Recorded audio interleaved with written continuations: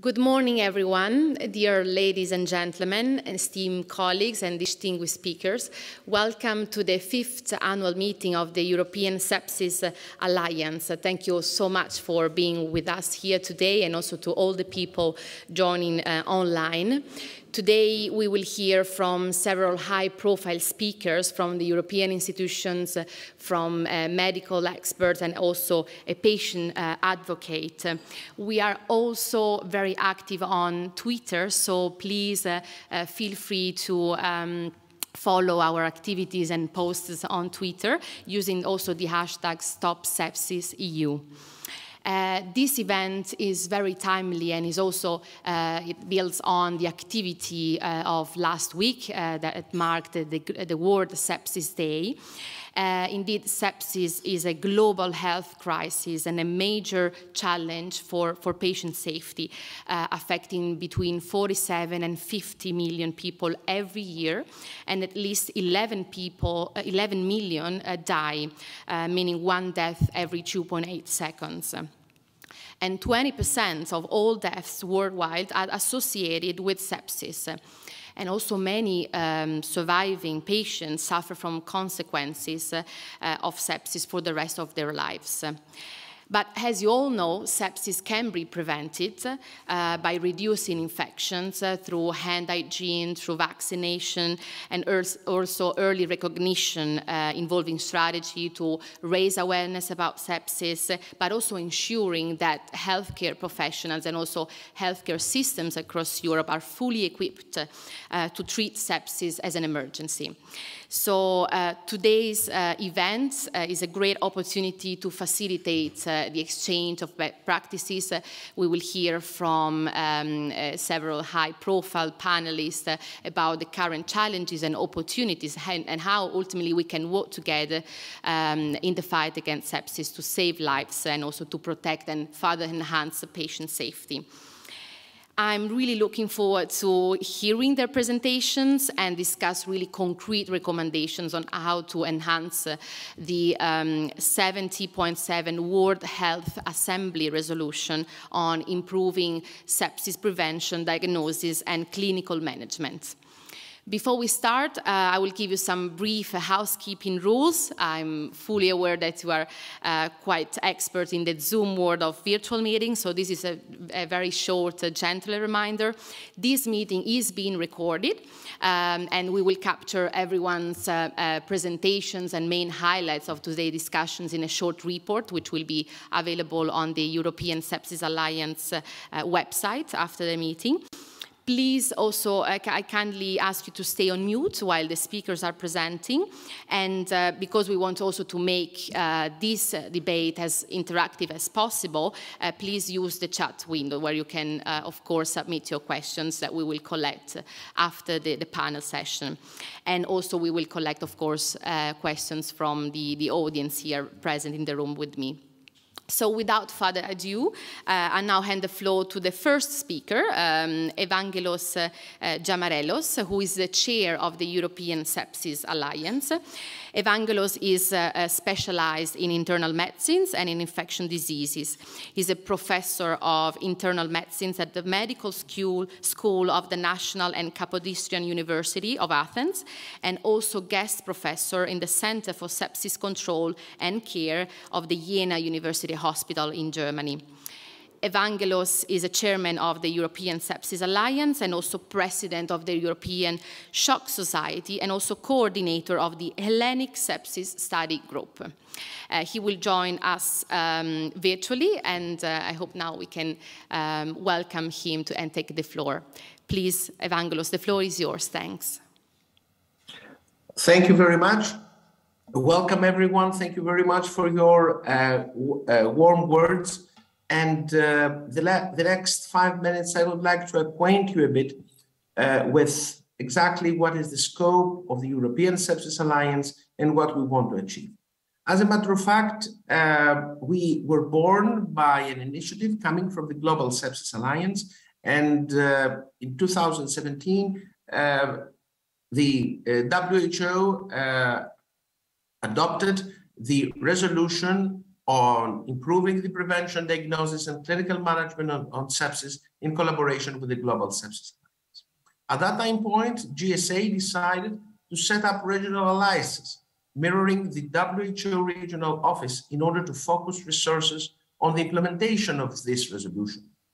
And then in 2018, under the auspices of the former European Commissioner for Health, Dr. Andriukaitis, we were born.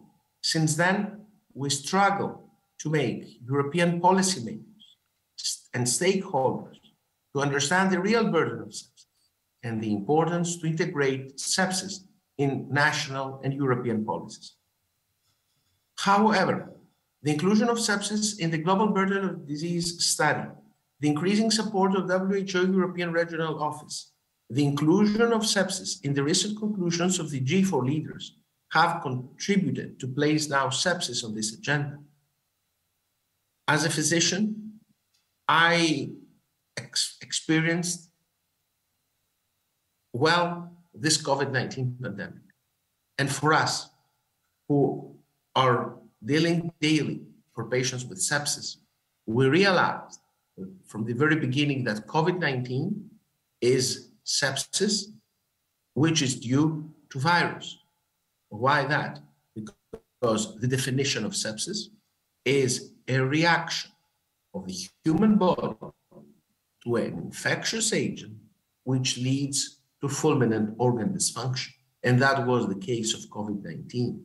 And now everybody understands why our vision is so important because we need to combat this main and number one culprit for death nowadays in the world. Several member states have undertaken concrete action to implement the recommendations of the uh, WHA resolution. Today, we will hear from Germany, Sweden, and France, who are leaders in Europe in, the, in improving the quality of sepsis care.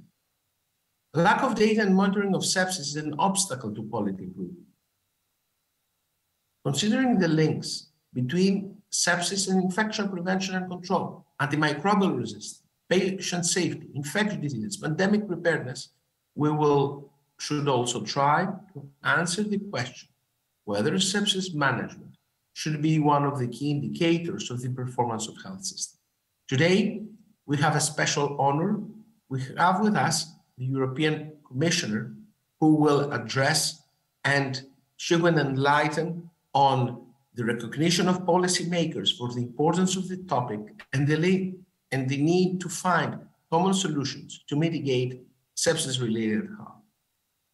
Thanks to the permanent representation of Germany to the EU uh, for hosting us, we are grateful to that and we need to recognize and to pay special tribute to them since Germany is amongst the leaders in Europe in the fight against sepsis, and we are grateful for them.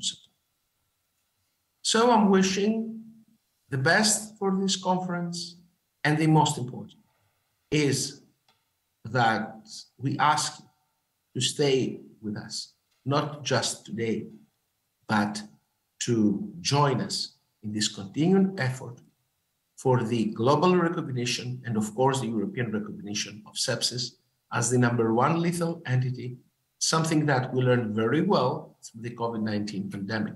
But we need to sustain and struggle against that. And we are in need of this joint effort and of your help. Thank you very much. Thank you. Thank you very much, Evangelos, for providing this very powerful message and your, these uh, open remarks uh, with, with us today and also for highlighting the, the fantastic work that the European and the, the Global Sepsis um, Alliance have been doing over the, the, the past years uh, in, the, in the field of sepsis and also to, to enhance uh, better uh, sepsis prevention, uh, diagnosis and, and uh, clinical management across Europe. And as you uh, already um, pointed out, I'm really delighted to now give the floor to the Commissioner for, for Health and Food Safety, Stella Kyriakides. It's a real honor to have you um, with us um, here today. So now the, the floor is yours. Thanks. Thank you so much. Thank you for the kind invitation. And to all the distinguished speakers and guests and ladies and gentlemen. As um, you have previously noted yourselves, uh, last week we marked World Sepsis Day to raise awareness around a threat that claims the lives of about 680,000 people in Europe. That is actually more than the population of Luxembourg uh, each year. The facts and figures around sepsis in the EU and worldwide are really um, sober when we read them. Uh, and we estimate that even before COVID-19 uh, pandemic, possibly one in five deaths worldwide was linked to sepsis. And as uh, we all know, COVID-19 has made uh, this situation much worse. We also estimate that one in five sepsis cases is linked to healthcare acquired infections. Now, since it was founded in uh, 2018, the European Sepsis Alliance has really worked tirelessly, and I want to commend you for your, for your efforts to raise awareness and reduce deaths caused by sepsis. So I'm truly uh, delighted to be with you today because it's crucial that we um, try and address this global threat by working together. Firstly, and this is a key lesson from the COVID-19 pandemic, we need to make our health systems more res resilient. In recent years, uh, an aging population, an increased burden from chronic disease, uh, and have increased the demand uh, and the complexity of care. And here too, the pandemic has again shone a spotlight on the healthcare workforce shortages and has disrupted access to non-COVID care, for example, in the case of cancer diagnosis and treatment. Uh, I see our response developing across three main axes. Firstly, the understanding and the far-reaching health impacts of the pandemic. Secondly, locking in the advantages of digital innovation in healthcare delivery. And thirdly, we need to rethink health workforce strategies and planning. One vital EU-wide response is the Recovery and Resilience Facility. This is a 723 billion euro fund, uh, which will help member states be able to recover, but also to build back better from the pandemic focusing on the green and the digital transition. And health investment is a key pillar. So far, 25 member states have adopted national plans tailoring investments to their specific needs. And together, they have earmarked over 42 billion euro for improving health and building more effective, accessible, and resilient health systems. To give you one specific example, under its national plan, Romania will upgrade existing infectious disease facilities, set up new laboratories, and purchase new equipment. We also take action to the challenge of sepsis in other key areas, such as patient safety, antimicrobial resistance, and research into infection, prevention, and new antimicrobials. Let's first look at patient safety. We have actively helped to implement the 2009 Council recommendation on patient safety. For instance, we have supported the joint action on patient safety through the EU health program. Fewer healthcare acquired infections mean fewer cases of sepsis acquired infections. The heightened risk of patients in intensive care units developing sepsis is very worrying. And we must do all we can to keep it in check through prevention and infection control. And this is why the Alliance's work is so very important in spreading the word, in raising awareness about sepsis among patients, among general practitioners, and other health workers and policymakers. Anyone who has heard me speak about antimicrobial resistance before will know that it is a mission priority for my mandate. The nexus of AMR to sepsis is an area where we can and we must do better.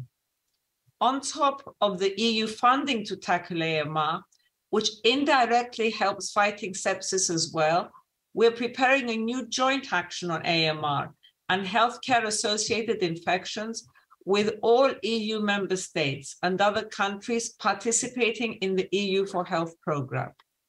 With a 50 million euro budget, this will be an action that will make a significant contribution to battling AMR and healthcare associated infections for years to come.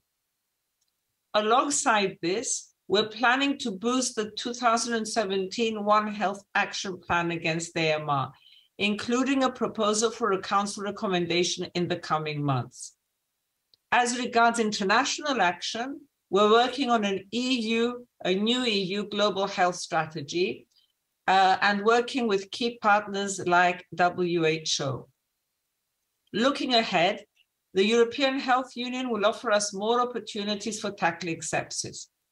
COVID-19 has shown us the benefits of preparing and responding together for health crisis, of stepping up coordination at EU level and revising processes and structures.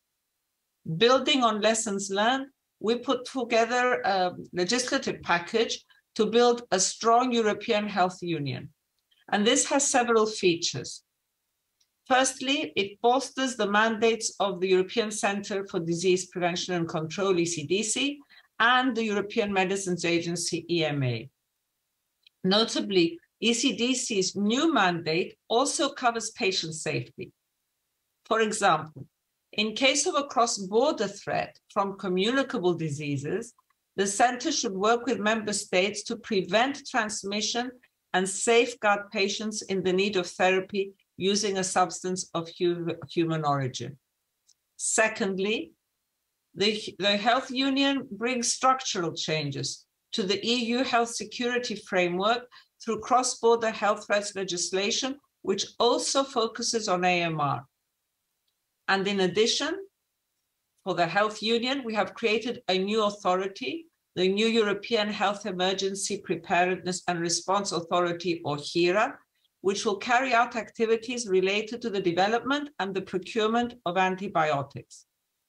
Funding for these new policy initiatives is uh, assured thanks to the 5.3 billion um, budget of the EU for Health program.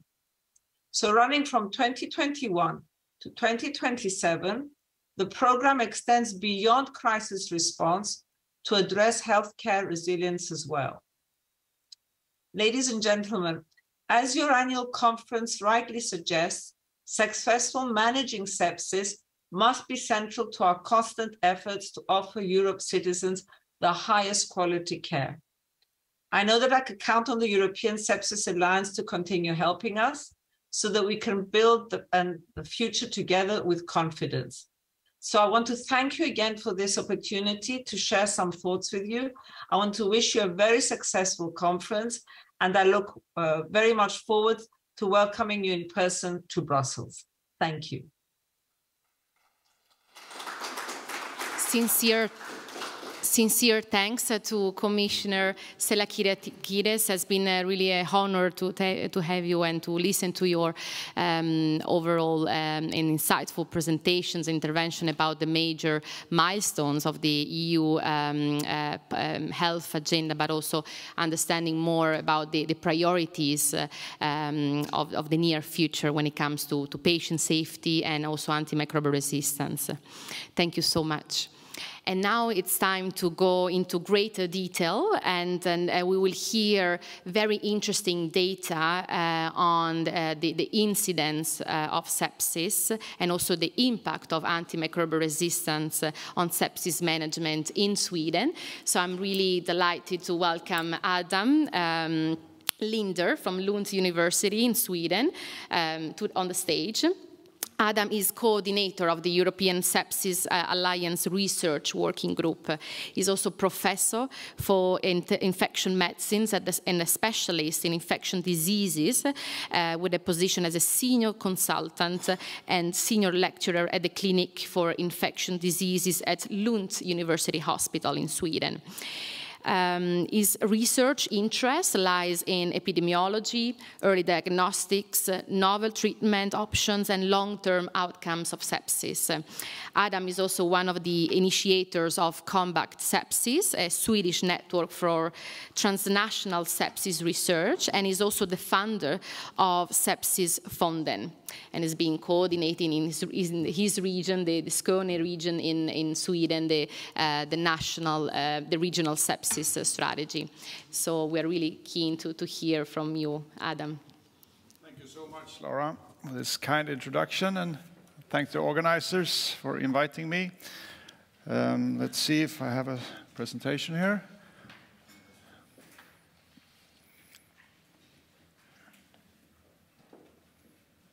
Yeah. So thank you very much. I will uh, talk a little bit about the lack of data on sepsis uh, regarding awareness, care, incidence, and the potential impact of antimicrobial resi resistance. So as you all know, there is an unmet need to improve sepsis care and man management, and we all know uh, or are familiar with the WHO sepsis resolution from 2017. And some bullet points, what they pointed out needs to be done is to increase the awareness of sepsis, improve the quality of management of sepsis patients in Europe, and also create a better estimation of the sepsis incidence and the impact of AMR on sepsis in Europe. So why is this a challenge or a problem? I, am from Sweden and we have been working on this, so I will give you some examples from my home country then. In 2015, 21% of the Swedish adult population had heard about sepsis. So how could we change this, we thought. One thing was to increase awareness through national public, cam public campaigns that we did with Sepsis Fonden. And actually, in this slide, you can see that Swedes are quite well educated concerning um, uh, most uh, uh, diseases like uh, myocardial infarction, breast cancer, stroke, prostate cancer, chronic obstructive lung uh, disease. It's about 90% that has heard uh, of these diseases. But sepsis, it was only 21% in, in uh, 2015, and six years later, it was actually 49%. And I know that the, the, the numbers is even higher in countries like Germany and the U UK, where they have been working on uh, with public na uh, national campaigns for a long, longer time. So th there is a great opportunity to increase uh, awareness uh, on sepsis. So healthcare. We know from audits and surveys in Sweden that we have great national variations in the identification and management of sep sepsis. So how can we tackle this deficit? Well, in 2019, the Swedish government actually chose sepsis as one of 10 medical con conditions for a national standardized healthcare process uh, program starting in 2021. And that includes uh, implementation of sepsis alerts and follow-up clinics in all hospitals in Sweden. And this, will, this has been uh, uh, approved and the, the implementation has started this fall. So, lastly, but not uh, leastly, the sepsis incidence. Why is this a challenge or problem? Well, there are actually very few studies, and there is no ongoing sur surveillance of the incidence of sepsis in Europe or of the impact of AMR on sepsis. We have the problem with ICD coding. Uh, the ICD coding, uh, the codes that the doctor sets on the patient is, is very, very inaccurate and poor. At, at, least in Sweden, it's only about 10 or 15, 20% of the sepsis cases that received a correct sepsis ICD di di diagnosis. And the quality probably differs between uh, other U European countries. We, we don't know that.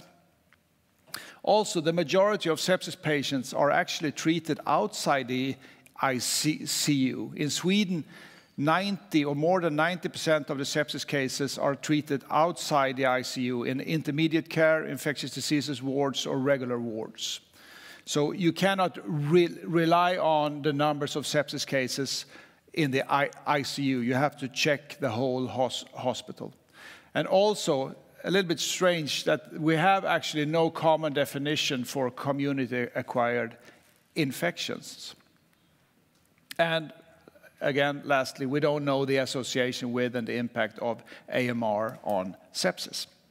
So how can we tackle this? This has been a priority uh, uh, project uh, within the European Sepsis Alliance since a couple of, of, years, and we want to conduct a high-quality European sepsis incidence study based on AC, ICD coding, but also the gold standard, which is manual chart reviews.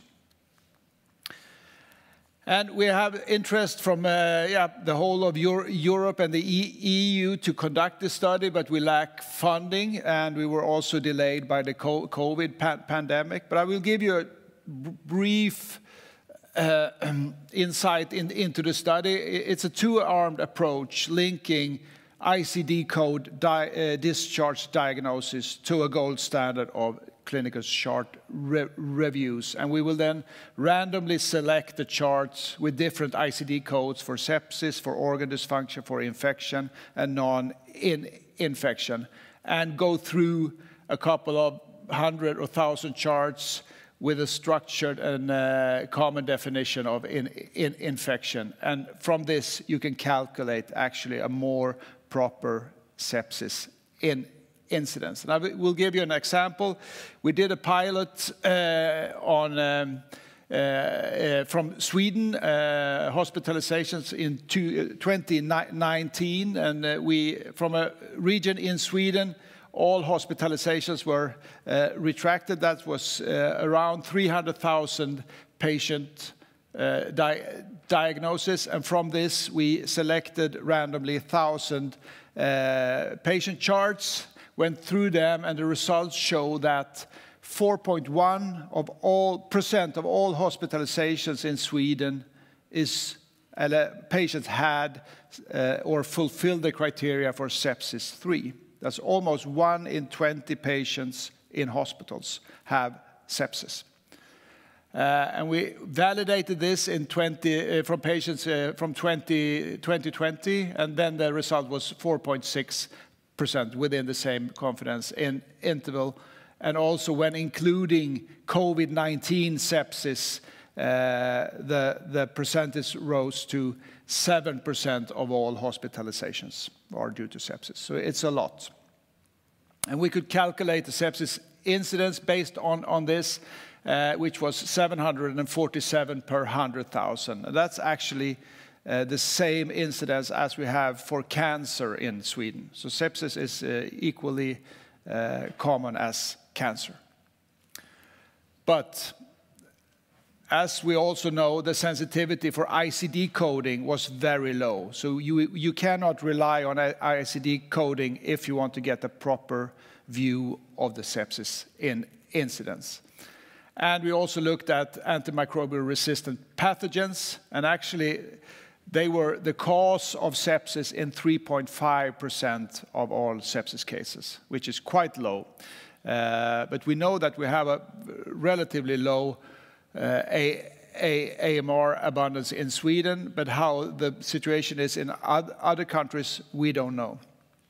So we believe that the EUSEP study can be su successful. Uh, it's possible to base it on ICD codes, but you need the manual chart re reviews, which is a little bit labor intensive and uh, also costs a li little money, of course. And we think it's important that we have used uh, common definitions of in infections and also a somewhat adapted way of uh, evaluating organ, organ dysfunction since the most of the patients are outside the ICU. So a change is possible. The public awareness has increased uh, in six years from 20% to 50% in Sweden. We have uh, implemented or are implemented sepsis alerts and post-sepsis clinics in the whole of Sweden. And regarding the sepsis incidence and the impact of A AMR, we see that uh, sepsis is a common disease. One in 20 hospitalized patients have sepsis, and we, at least in Sweden, know that uh, the, rate of AMR is relatively low at the moment, but still it's 3-4% of all sepsis cases, which is, which is quite a, a lot of, a high number of uh, actual patients. So on, on, a European level, I think that we need data and surveillance on the sepsis in incidents in Euro Europe, and this uh, pilot showed that it's possible to use ICD coding if you also add on clinical chart rev, uh, rev, reviews man manually. So we propose that we could use, try use this method to, to calculate and possibly over time survey the sepsis incidence and the impact of AMR on sepsis in Europe. Thank you very much.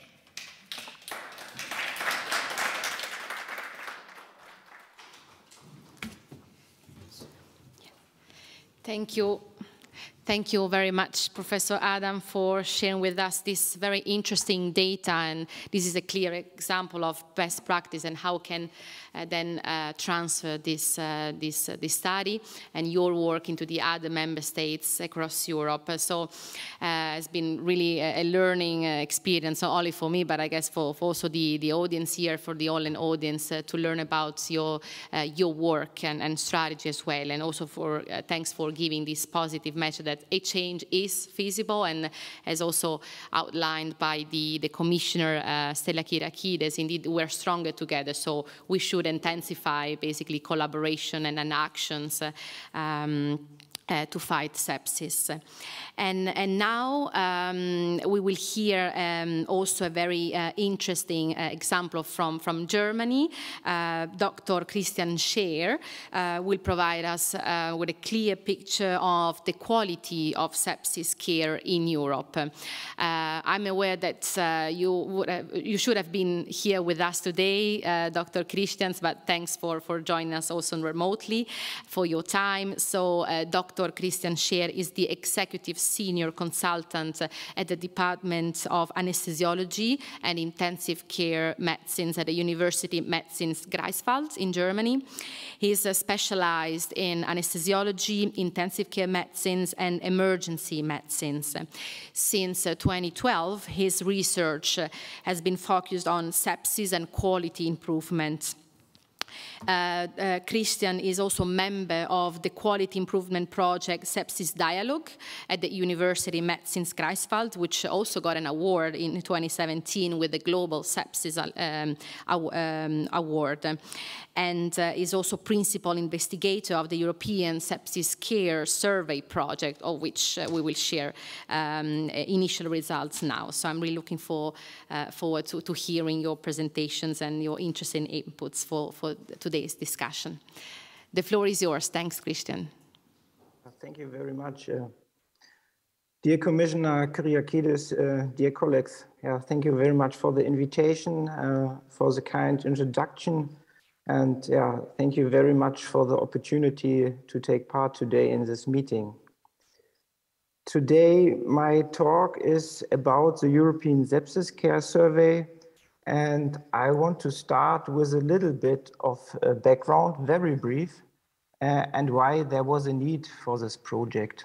In the second part uh, of my talk, I will present some of the results of the European Sepsis Care Survey.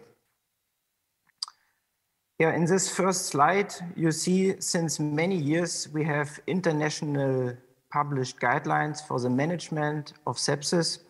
And you can see uh, Uh, here that we have these guidelines since two 2004 and they were updated every four years. And the content of these guidelines are evidence-based recommendations for early recognition and management of sepsis. These guidelines are about diagnostic elements like blood cultures and therapeutic measures like the beginning of anti-infectives and uh, fluid resuscitation.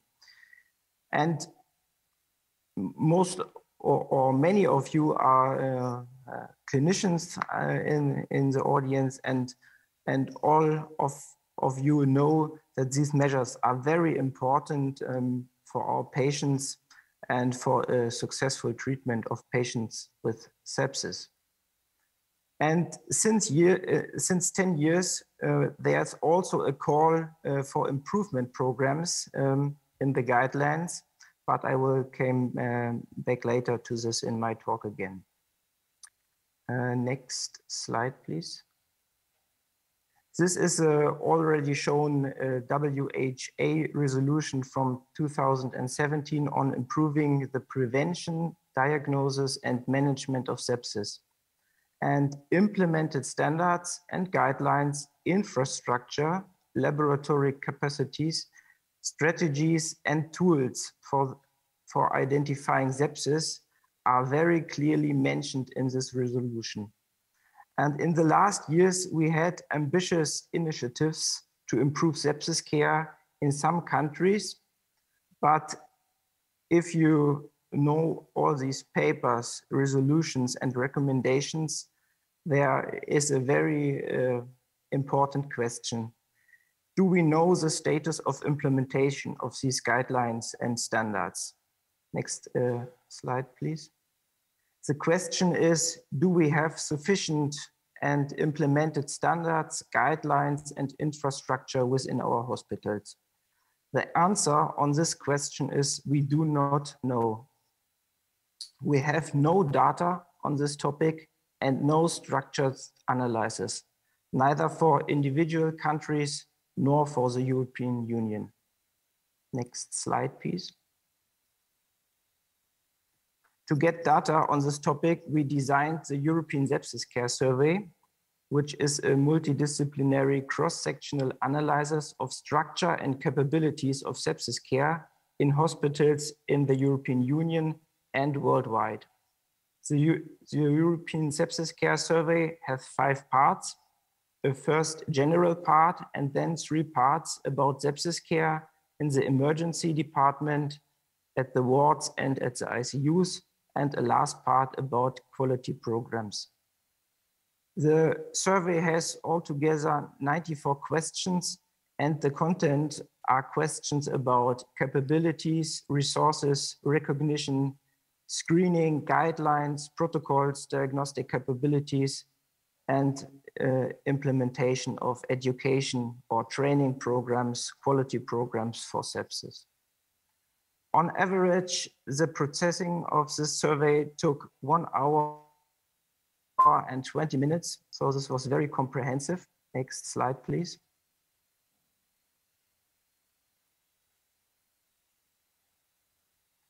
And the survey was designed and tested by a steering committee from, from the ESA uh, study group. And in a second step, um, the survey was uh, reviewed uh, by scientific boards of three uh, um, European societies, ESAIC, ESICM, and the Intensive Care Society of UK. Um, after this, multiple national coordinators tested the questionnaire and the survey was available in English, but also in some other languages. For participation, um, all uh, participants were asked to do a web-based re registration. And um, so this was uh, required to avoid multiple participation. And in a second part, they participated also web-based. Next slide, please. This is a picture from the recruitment in the past year. Uh, you can see hospitals worldwide participated in this project. The hospitals are the blue dots. And you can see that there was, for example, also uh, um, a significant recruitment in India, but most of the hospitals and participants are from Europe and uh, especially from the European Union.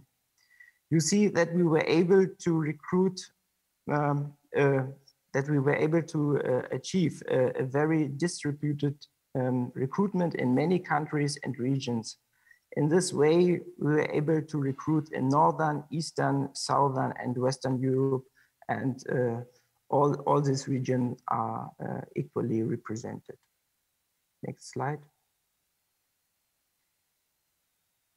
This figure shows the uh, participated countries of, of the project, the number of participated hospitals, and the number of beds of the participating hospitals. Um, you see the blue bars. The, the dark blue bars are for the European Union and the light blue bars for other countries. And the bars are showing the um, proportion of represented uh, care beds for each country. And this was calculated based on Eurostat data. For example, the first bar is Croatia. And uh, here we were able to recruit 23 hospitals, which represents 90% uh, of all beds in Croatia. So Croatia participated with 90%. In total, we had participants from 60 countries, uh, 25 in the European Union. In total, we included more than 1,000 hospitals in our analysis.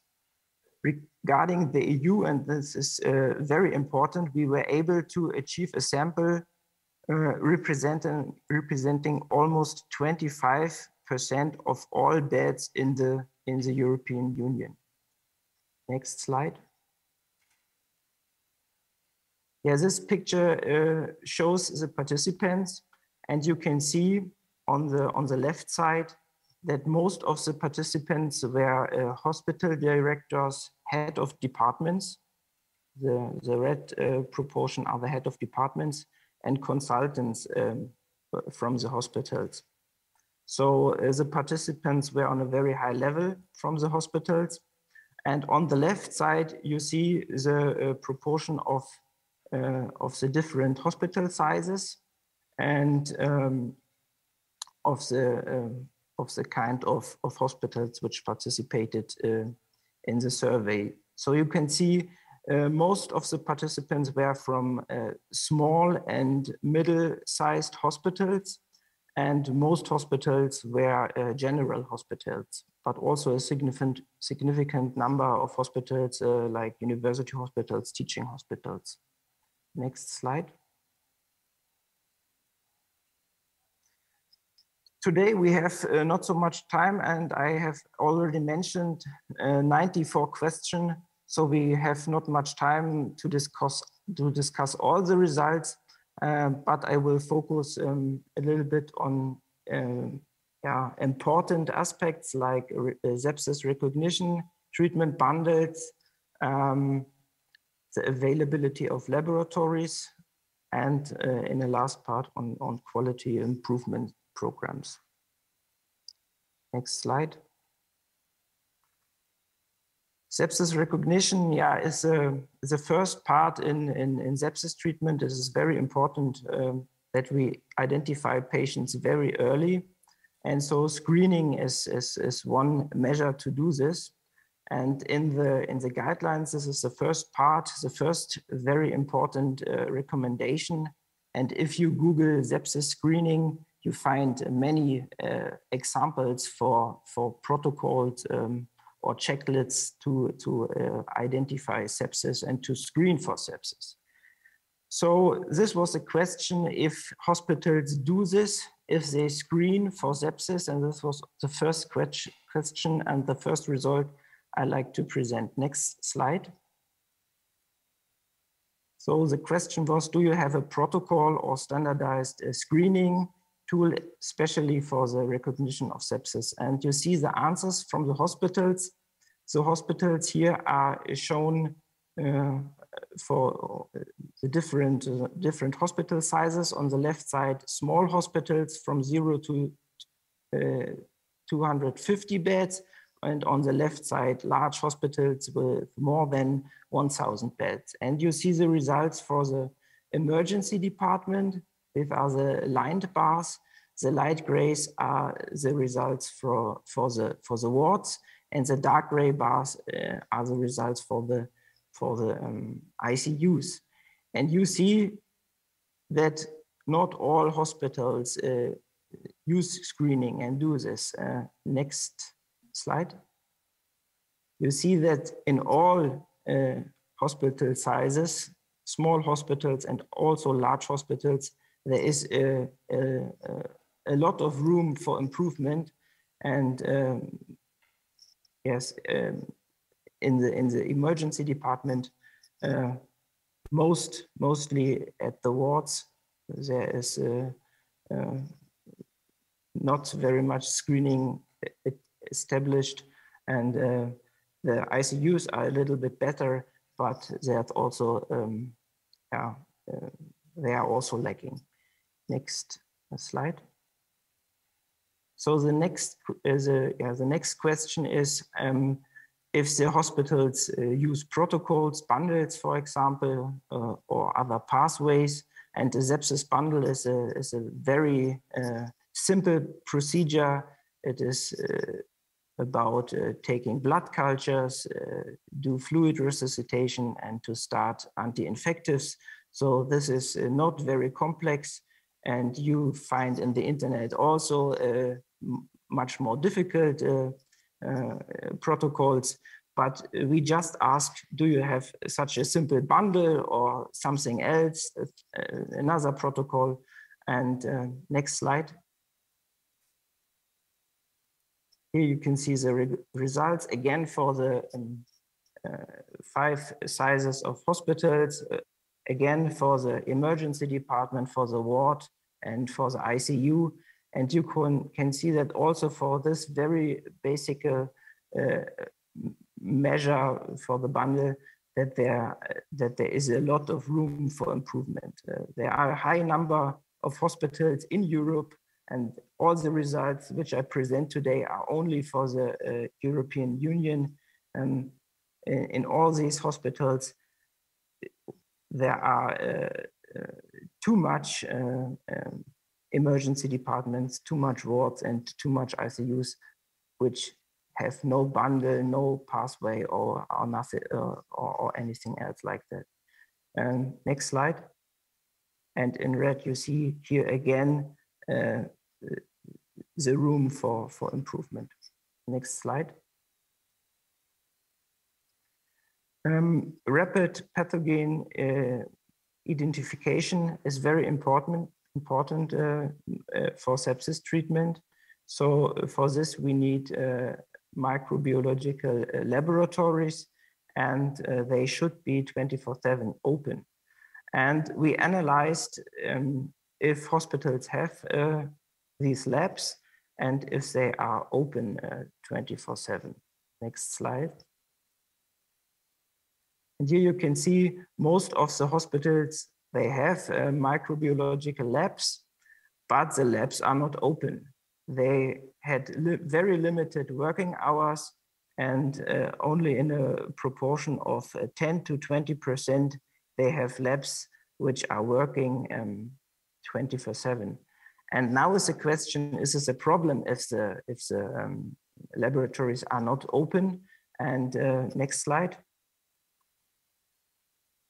and we have we have asked um, asked the the um, the personnel how is a is a time from taking the blood cultures to the first result and the second result. Next um, slide.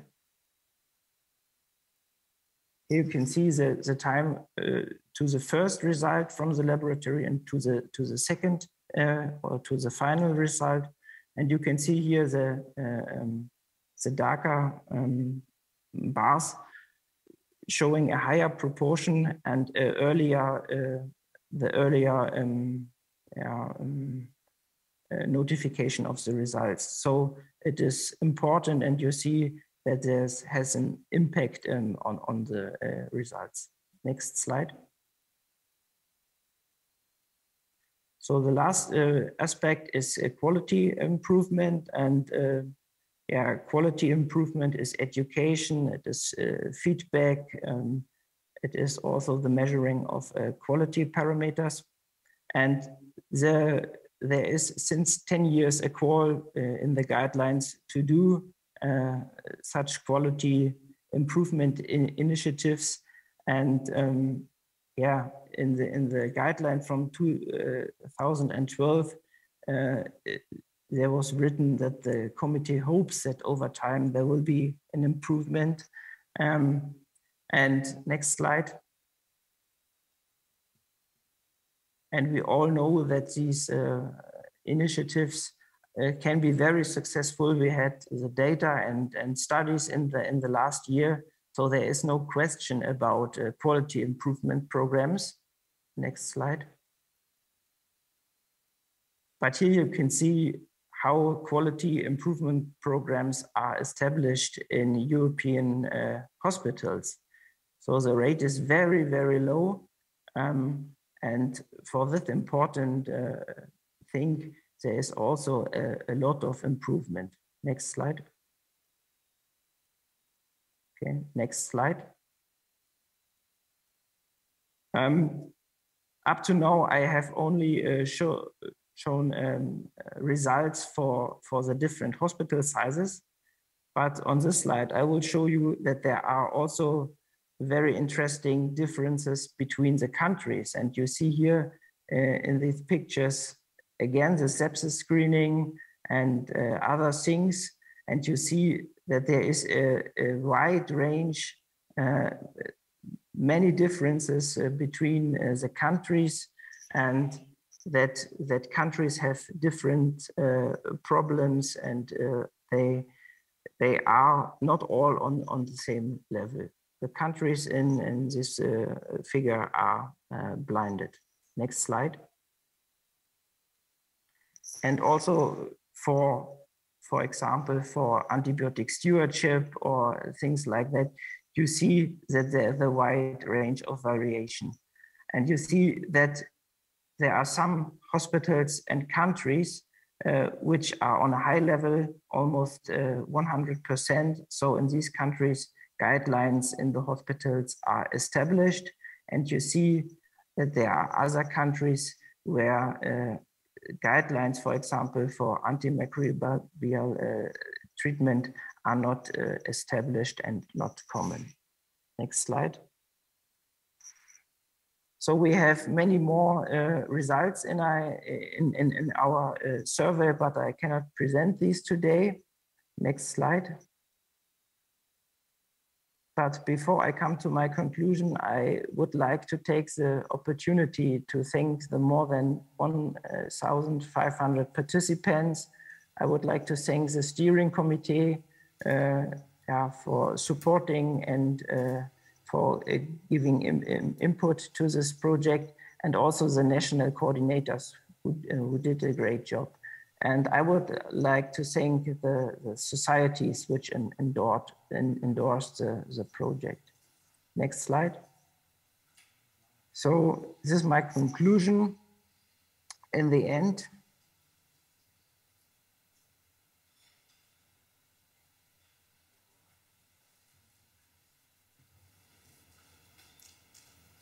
yeah, what, what can we say uh, in the end? we have a large and well distributed sample representing almost 25% of all beds in the European Union. But uh, this sample could be a positive selection in the end because we recruited by uh, on the on the on the platforms of the societies and we don't know uh, what is in the other 75% uh, of the hospitals essential and uh, recommended uh, basic measures and structures are very often insufficient and uh, we observed differences between the countries. Uh, differentiated uh, improvement approaches can be drawn up for individual countries. So this could be a result of, of this project.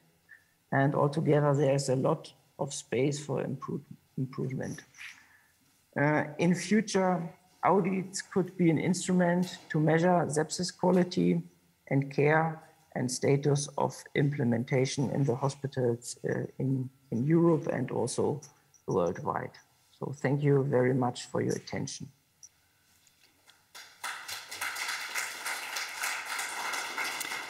Thank you, Dr. Christian. Thank you so much. This is a really a tremendous work, and thanks for having shared with us uh, this uh, very comprehensive picture, and also for, for having shared uh, many important high-level recommendations, including screening, um, training, and education as well of healthcare professionals, uh, early uh, identification, recognition, but also protocols, programs that are all uh, very important elements in the treatment of sepsis. And if I may ask to, to you, but also to our colleagues, Adam Linder here, um, because we've been mentioning a lot of data uh, surveillance, data gathering. So what's the challenge in, in your views to implement sepsis clinical uh, guidelines um, more in a more harmonized approach across Europe. Um, can you give also a, um, a personal um, uh, opinion coming from Sweden and Germany?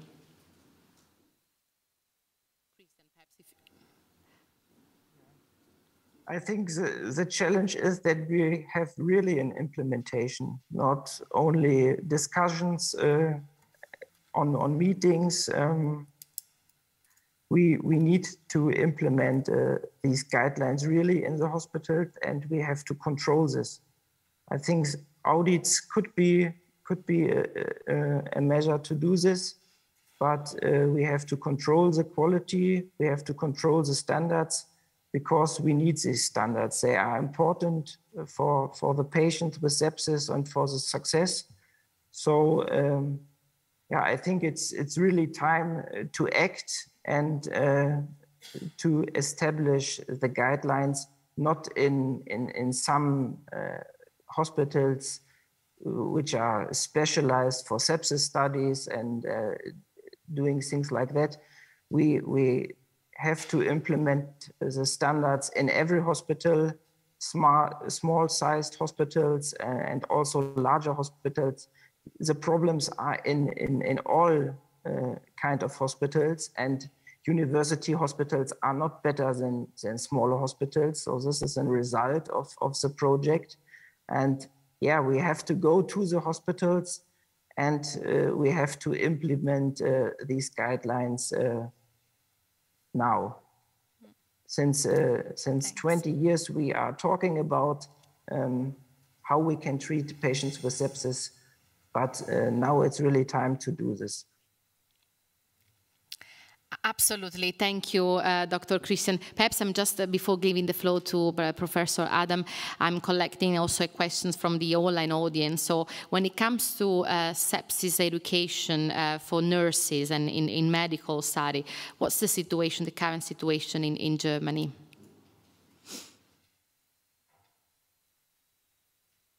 Yeah, I, I had in the end, I, I showed you the, the country data and we are in, in Germany, we are not very good. We are in the end um, of, the, of the benchmark. And uh, sepsis screening in, in Germany is not uh, established in, in most of the hospitals. So we have a problem in Germany. We have initiatives and they started in, uh, in the last years. And we have to see uh, how the implementation and, and the education goes on. But uh, in 2021, these are the results. We are very bad in Germany in terms of screening, in terms of uh, protocols. Our labs in Germany are not open. Uh, we have a high proportion, and, and I do not show this, a high proportion of external uh, laboratories. So uh, uh, samples have to be transported to the to the laboratories and this take much time and diagnosis and pathogen identification is, is delayed. So we have a lot of uh, problems and we, we have to start, I think, with a very simple actions like the screening and, and the bundles, for example. They have to be established in the hospitals. Thank you. Adam, how is difficult to, to implement uh, sepsis clinical guidelines in, in, at the hospital level in Sweden? Yep. Uh, how difficult? We, we don't know. We're not. We have not done it all, uh, but I think the, the the key is that we need proper data so that we understand the problem, uh, and uh, then we need some kind of a solution. And in, luckily, in Sweden, the gov government has uh, acknowledged this and also al allocated funds. So I'm actually quite positive that we will have a, a, like a standardized protocol for this in Sweden within a year. Uh, but then the next thing is also, will this help?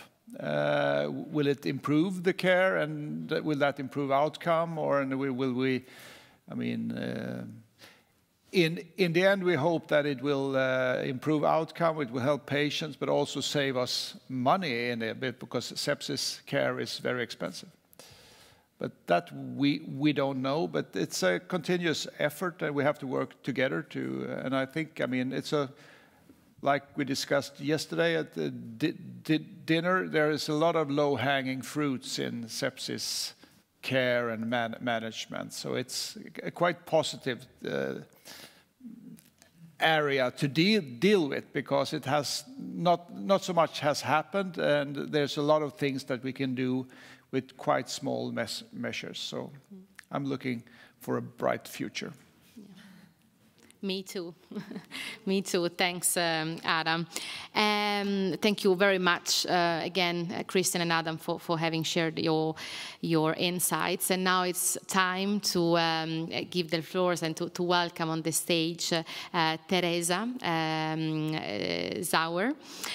Uh, Tereza is um, a sepsis survivor from, from the Czech Republic she survived a sepsis shock back in, in March after contracting a bacterial sepsis caused by Campylobacter that was in the, uh, in the chicken she, she cooked at home. Tereza is a very sporty, a very fit woman, and she did not know that sepsis could have had such a strong impact on her, on her daily life. And she's now committed to raise awareness about sepsis in her countries, but also to share her personal testimonial with, with us uh, and with all the also online audience. Um, and uh, we are really grateful, uh, Tereza, for, for, for your time, and, and, we are really looking forward to, to hear your story, which is a great, fantastic example of uh, why awareness, uh, prevention, early identification uh, are really critical success factor in, uh, in solving this major patient safety issue. So, Tereza, the floor is yours. I welcome you on the floor, if that's okay.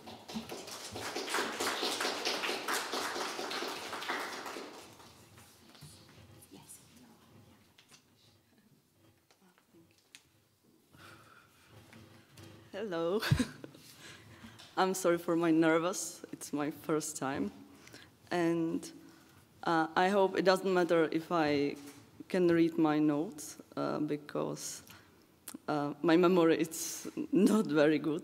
And sorry.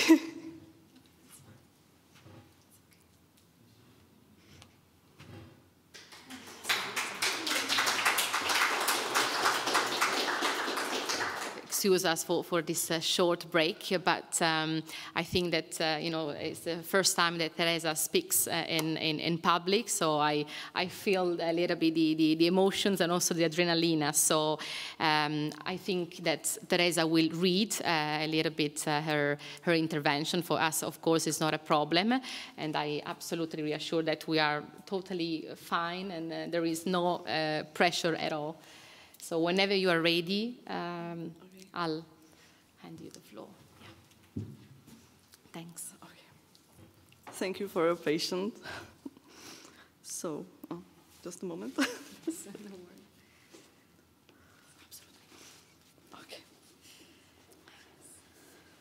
So, I'm Tereza, and my life was completely changed by septic shock from common infection caused by Campylobacter. Funny is, I didn't eat the chicken, but I worked with it. I prepared the raw chicken for the soup, and the infection hit my body through the hangnail. This time I was in Bali, a few days before my journey back to the Czech Republic. I was healthy and well-trained person, fitness coach, nutrition coach, and traveler, and I never expected I lost all of this in a few days in ICU. So the septic shock. Day after arrival, I felt bad. I had fever and chills, and it took three days. I thought it was post-COVID syndrome because I had COVID-19 few weeks ago. Many people around me had the same symptoms. Of course, I didn't realize it could be sepsis because I knew sepsis attacks mainly elderly people, children, people with weak immune system, or after some big injuries or surgeries. I knew something was wrong third day in the evening. It was Wednesday. When I lost consciousness and my parents called the ambulance. It was the first trip to the emergency where they gave me paracetamol and told me, Your blood results are not so bad. It's some intestines infection, and recommended me another blood test on Friday. And they sent me back home at 2 a.m. from the hospital. The day after the worst, uh, the day after was the worst I've ever had. On Friday morning, I felt exhausted, I couldn't speak, and I wasn't able to wake up from the bed, so I couldn't go to the hospital for the blood tests, and a nurse came to my home. The results were in one hour, and the doctor called ambulance immediately because I was in the septic shock. It was less than 30 hours since first trip to the emergency where they didn't recognize something could be wrong. CRP, CRP level was 430, blood pressure 70 to 40. My kidneys, lungs, intestines, and heart started to fail. I spent eight days in ICU. The antibiotics stopped working and CRP levels started to grow again. So the doctors decided for surgery, and this surgery saved my life. Uh, my belly, my stomach, intestines, were full of infected green liquid, which they pumped out from my stomach first day on ICU. It was around one and a half liter. Now it was everywhere. I spent another 10 days in the hospital and finally sent home. And I learned from my mom I survived the septic shock because my mom told me she is a dentist and she knew that I had 10% to survive. Nobody in the hospital told me it could be sepsis. So the word sepsis wasn't communicated with me. And now, post sepsis experience. It's very hard for me because I learned walk again, and it was very frustrating for me, like for fitness coach. I was very determined to get back in life soon, so I started with yoga, walks, and cold therapy again.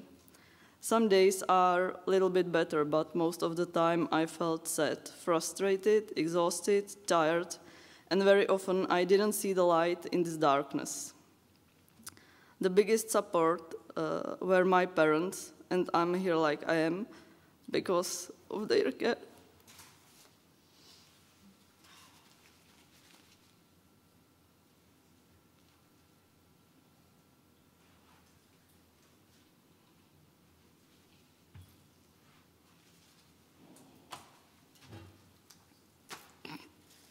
I'm sorry.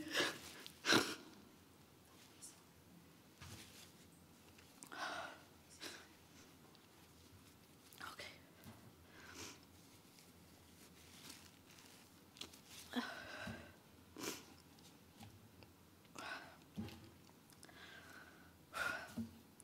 So now I have horrible problems with my memory, and very often I can't find the right words while I'm speaking.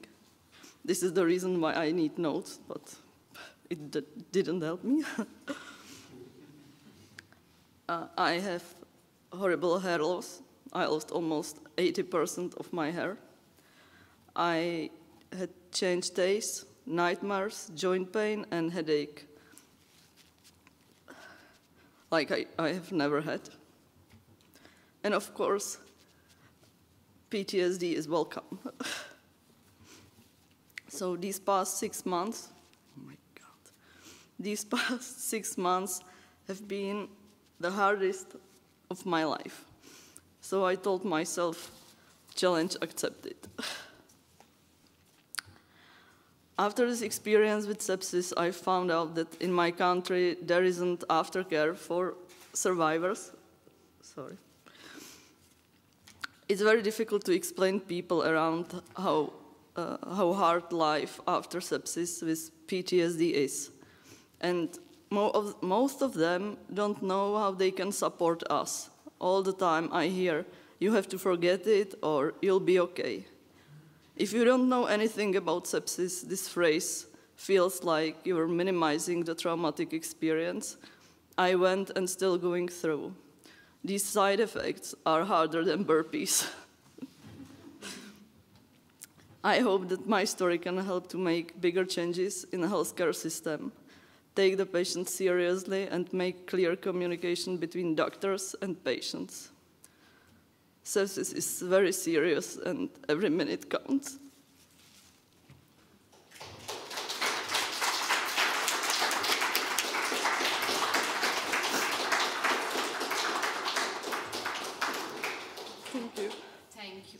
Thank you. It's like Thank me. you. Thank you so much, uh, Tereza. I mean, your story has been absolutely, well, quite touching, in my opinion, very moving, but also very important to today, uh, for today's discussion. You have been absolutely very strong, and thanks also for, you know, being so brave in, in sharing um, your personal story with us. Thank you so much, really, on behalf of everybody here, but especially from uh, on behalf of the, the European Sepsis Alliance. Thank you so much. Thank yeah. you. Thank you for Do- your patience. Yeah. If I just may ask a very small questions, uh, do you believe uh, you have received enough uh, support, and also you are still, if you are still receiving enough support from the, the Czech Republic health uh, systems in your rehabilitation? No. Uh, just, just from my parents and friends and, and from Global Sepsis Alliance, but not from anybody from Czech Republic. Instead of one doctor from, Uh, from one hospital in Prague. Okay. It's very sad. It is, but uh, this is why we're here today, try to, to make a, a positive change, right? And uh, really to um, boost a little bit the, the actions, not only at EU level, global level, but also especially at the national level, right? And to support uh, patients, and because patient, the patient's voice is really uh, key, is really central in fully implement then the, the national uh, strategy on sepsis at, at the country level. So again, Thank you so much, Tereza, for, for having shared your story. It has been a really, really an honor having you uh, here with us. Thank you. Thank you. Thank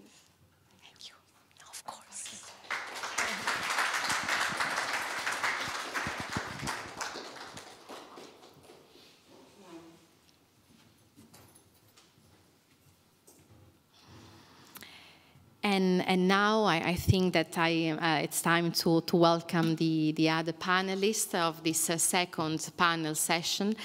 Um, Professor Jean-Marc uh, Cavaillon, uh, if, you, if you can join me on, on the stage here, thank you.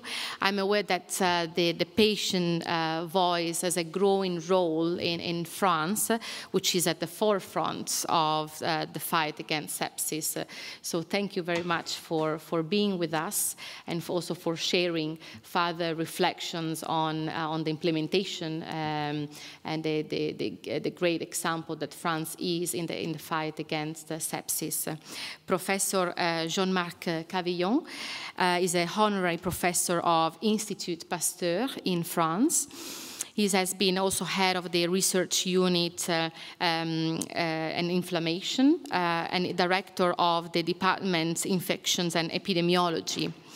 He has been president of the International uh, Endotoxin and Innate Immunity Society and also president of the European Shock Society from 2016 to 2018. He has an extensive expertise on inflammation, sepsis, and septic shock. He has been also very much involved in transnational research, studying uh, the immune status of patients with sepsis and other severe inflammatory disorders and is currently scientific officer at the French National Research Agency uh, in charge of the, the COVID-19 pandemic, but also on uh, antimicrobial resistance. So the floor is yours. Thank you, Professor. Well, um, I, I, thought, in fact, uh, first I'm happy and uh, thank the Sepsis Alliance for inviting me. Uh, I did not realize that I had to give a talk. I thought it was just an, a, a, panel and a discussion with some questions, so uh, I've not prepared anything, in fact. Uh, so first, I would like to thank Tereza for uh, her testimony. I mean, it's exactly what we do need, and the public need, is to know that first you can survive. I mean, often sepsis is presented as a deadly, and we speak in terms of dead people, and we count them. But in fact, they are survivors, and they will live, and their uh, way of life will be totally modified and changed.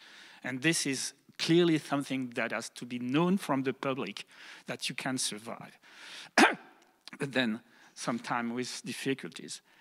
And for that, we do need association from patients because they will also carry the message to the um, national authorities. And in France, we were, if I can say that, lucky that one mother who uh, lost her son because of peritonitis and septic shock, she has created what is called now the France Sepsis uh, Association, which uh, work hard to uh, favor the um, knowledge of the uh, of the disease around um, uh, around France, and uh, because she's from origin here is from Morocco.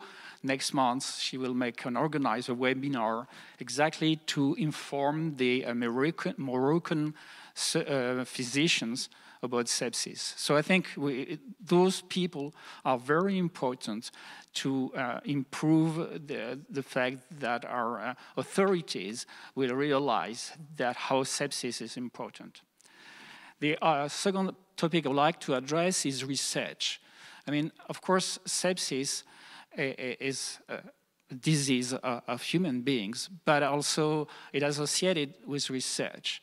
And I don't know in your different countries, in Sweden, Germany, or uh, Czech Republic, wherever, uh, how the funding of research is organized. Uh, clearly, in France, we have a problem. If a problem is that there is the funding for fundamental research, a funding for clinical research. But sepsis is just a translational research it's joining fundamental research with clinical research.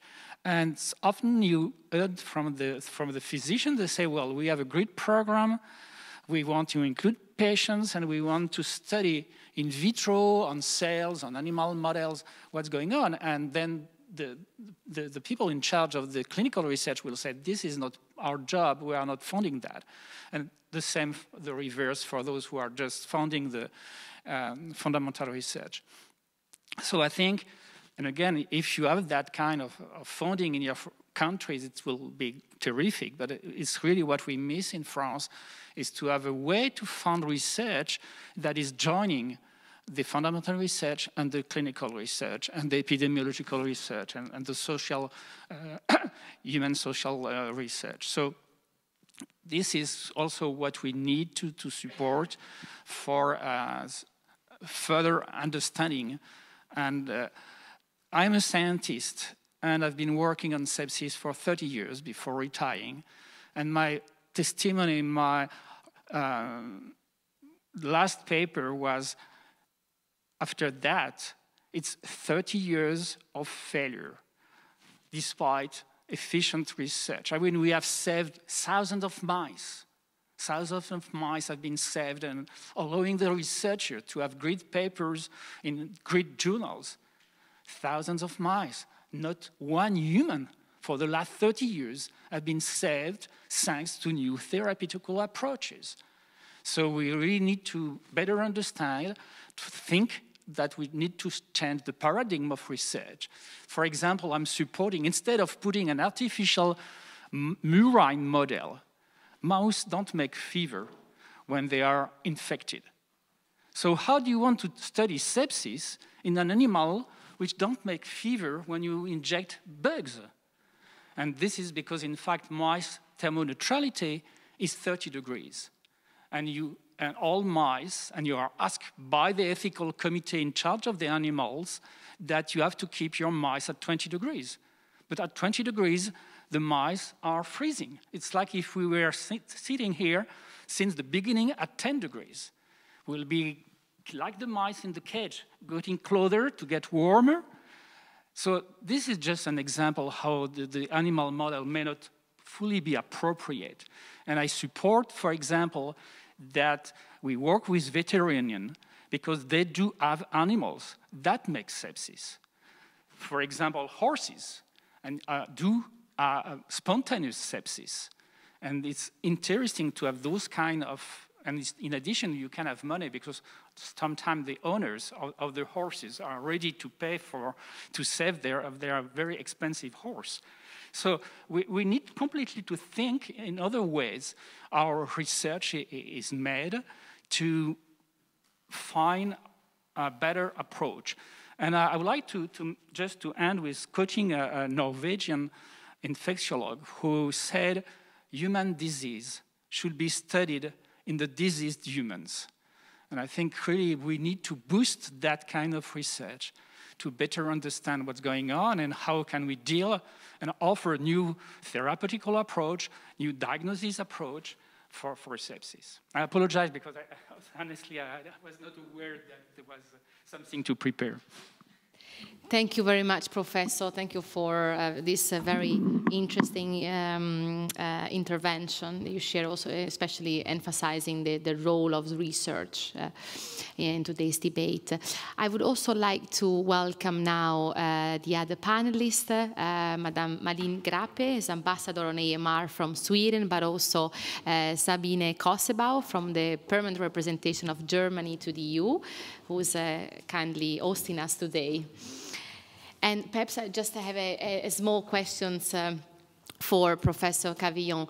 So after having listened to, to Tereza's story, um, what do you think went went wrong? You know, and in an ideal world with the right with the right processes, what should have happened in, in your views? Well, I think your testimony is very strong and very important. First, we need to realize that sepsis are not just numbers, and there are people behind that. And uh, I think it's important to listen to them. And also, I mean, we realize, I mean, people are just rediscovering the post-COVID symptoms. And now it looks like it's a new disease. I mean, people post-COVID who had severe COVID. But in fact, if you inter uh, interact and with this Tereza, the most uh, information was clear that since uh, sepsis exists, the post-sepsis syndrome also existed. And that we are just rediscovering thanks COVID, to COVID. And in fact, I think we can be grateful for COVID-19 because it, it's bringing back to um, the top of the interaction with the public the sepsis. COVID-19, the severe form of COVID-19 are viral sepsis. We were used and we heard about bacterial sepsis, but this is the same story. It's not the same bug, but the, the body is reacting the same way. It's localized within the lungs. And often bacterial sepsis is associated also with pneumonia, and most of the sepsis start from the lungs. So, I mean, this is just increasing knowledge is an in, in, input for uh, research and for studying patients also with, with COVID-19.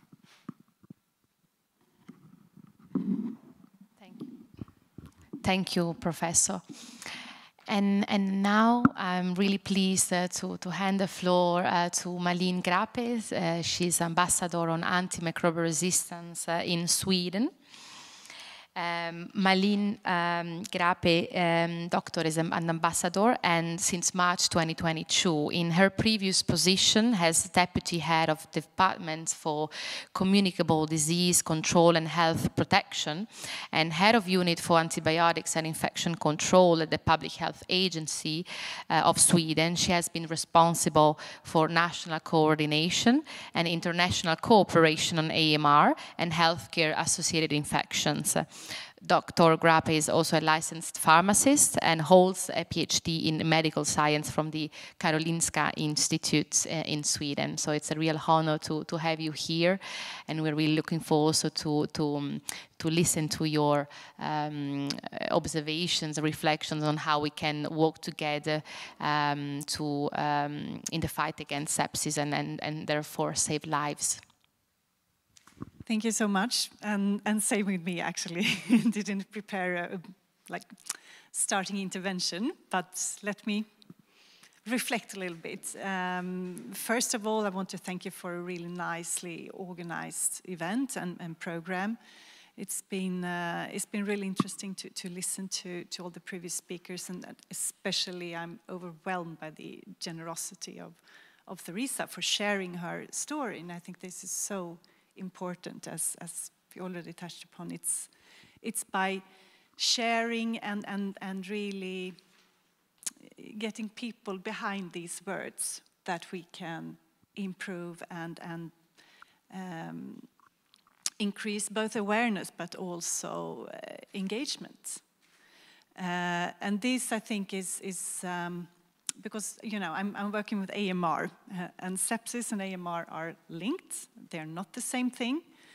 Uh, there are parallels, and when it comes to awareness, knowledge, um, and and uh, engagement, I think there is a lot uh, in common between these two phenomena, if you may say so. Um, because it's, I mean, sepsis could be caused by different pathogens, obviously. AMR, again, it's, it's a, you know, it's a group of, of different infections, it's different diseases, it's, it's even different kinds of drugs to which these microbes develop resistance. So it becomes very vague. Um, and, and this is, of course, a problem for, for actually getting people to, to feel that this is something we have to deal with. Um, so, so, this is something that we also in, in, in my, you know, the AMR world are, are, talking a lot about how to, to increase awareness and engagement. Not only awareness, because that's not enough as long as you don't actually act on this awareness. Uh, so, so I'm really grateful for the intervention of Tereza today. Um, as I said, AMR and, and sepsis are linked. Um, first of all, sepsis is, is, I mean, one of those really severe acute um, cases where, for which we need to save antibiotics to be working. This is the reason for, for AMR being such a huge problem, uh, because these drugs are, are actually aimed to save lives, as in cases with sepsis, or prevent lifelong disabilities. Um, but you may also reflect a little bit on, on the need for antibiotics also in the earlier stages. Um, because an, a more, you know, less severe or acute infection, if not appropriately treated or if actually treatment fails, may result in a sepsis. It may develop and result in a severe sepsis. So, so you may also call sepsis a, you kind of an, you know, the, the ultimate consequence of, of resistance. It's not like every uh, infection without, you know, correct treatment develops into sepsis, but it's, it's, a, it's a risk. Uh, so this is where I think it's, it's, it's very important. I'm very glad to be here today to, to make these uh, the links. Um, then again, sepsis and AMR may partly be prevented in the same ways. We need to prevent infections, first of all, um, before even talking about the appropriate uh, treatment. And I think this is also something that is, um, I mean, there's a higher awareness, obviously, now um, with the pandemic experience with us. Um, but it's, it's really important to, to keep this in mind and, and to keep the awareness of, of uh, prevention of infections from the beginning.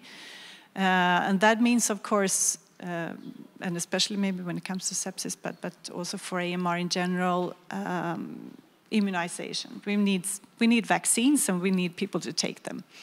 So that's one part of it. But also, and um, that goes very much for AMR, I must say, and, and partly for sepsis, infection control in hospitals. Commissioner Kyriakides touched upon the, the um, healthcare associated infections. Now we know that, that the majority of, of sepsis cases are actually community acquired, uh, but the ones uh, that are healthcare associated should, of course, be prevented and minimized to you know, the extent that is possible. I think no, and I guess you all agree with me, no patient in a hospital should get an infection due to uh, spread of microbes within the hospitals due to, I mean, non-adherence to, to, uh, to prevention guidelines, to hand washing, to, to all the, the support there is in a hospital for preventing spread of disease.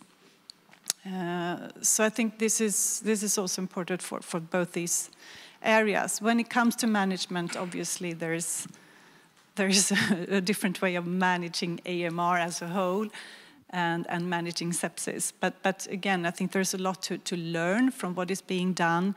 Um, Adam touched upon the, um, the experiences from Sweden now, where a national clinical pathway has been developed and being implemented now. Uh, and I think this is also, uh, it's a good example because sometimes we tend to, and that goes definitely also for IPC, uh, we tend to uh, look a lot at guidelines, but when it comes to implementation and follow up, we might not be that good. So this is also going to be very interesting to see uh, how implementation in, of this pathway is being followed up. So uh, let me stop there and, and we may continue the discussion. Thank you. Thank you. Thank you very much, uh, Dr. Um, Grape, especially for having highlighted the, this uh, correlation, right, between, between sepsis and, and uh, AMR. Indeed, we have come across a sort of a disparity in the respective responses uh, um, to, to these challenges, both sepsis and AMR. Uh, although they are uh, sort of interlinked. So thanks also for applying the, the lessons from the AMR debate into the sepsis one as well. And now, because we have heard a lot from the national um, representatives, it's also time to um, uh, to further discuss what can be done uh, at EU level. And now I'm really um, uh, delighted to to welcome uh, Ms. Sabine um, Kossebau uh, from the, the, permanent representations um, of Germany to the EU. She has an extensive um, uh, experience on, on healthcare, also including pharmaceuticals, before joining um, um, the, the, perm rep here in, in Brussels. Uh, she has been uh, working uh, as a special advisor to the Secretary of State at the Ministry of Health, and now she's currently leading the um, the, the, health department of the permanent representation of Germany. So thank you very much also, especially for hosting us uh, within your premises. Um, how we can um, essentially generate more awareness, also political focus uh, uh among European policymakers, you believe, when it comes to, to, to sepsis and, and all the critical solutions to fight it.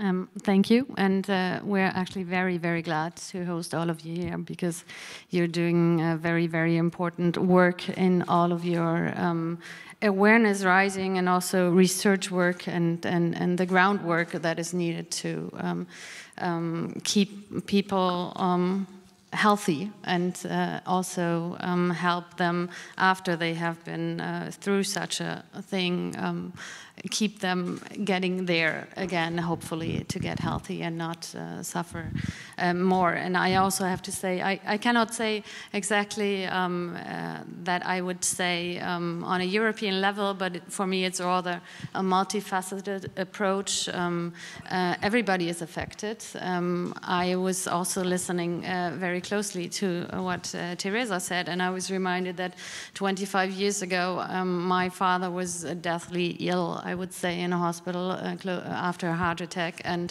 he had two very close uh, scares to sepsis, and um, uh, he's now a very happy 91-year-old and has uh, no further consequences. Um, so uh, for me, it's also not only seeing the patients, but also the other ones are affected around the patients as well, and everybody around. Um, so, as uh, the German uh, uh, representative uh, in this panel, I have to say uh, for sure I heard what the colleague uh, or the professor from the University of Greifswald, I think he was a professor, said about Germany also having to do the homework in the practical implementation in the hospitals to prevent sepsis. And um, I have to say, for us, it is actually a big focus to um, prevent sepsis and uh, to raise awareness. Uh, so we're very happy that uh, the German government, uh, since July 2021, uh, has been sponsoring a, a very a big campaign uh, to raise awareness of sepsis, which has been done by the German Sepsis Foundation, the German Sepsis Help, Sepsis Dialogue, just to name a few in the University of Greifswald, and which is also um, a topic that we also focused in the G7 health presidency that we have uh, um, this year, um, uh, where we put into the declaration that there should be a focus on addressing uh, sepsis and everything including with sepsis. So um, what we see, it's a, a, multifaceted approach that is needed, that we start with the research, then we look at the guidelines. Uh, in Germany, we have at the Robert Koch Institute, our Public Health Institute, a commission that is focusing on uh, hospital hygiene and infectious disease preventions. Uh, but these are, again, the guidelines that then need to be implemented actually in reality.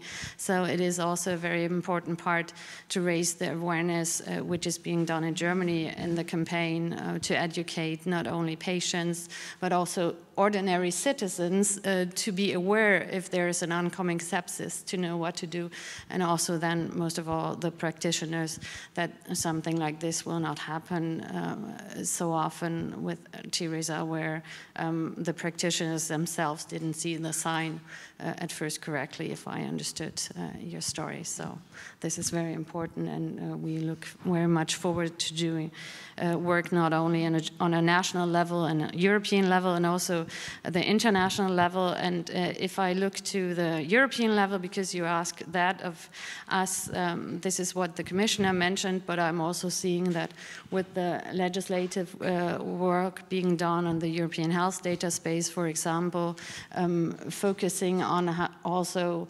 accessing data for secondary use, uh, research, and also having more data on a primary level as well to connect the dots and have the research and then get the positive results the, for the future.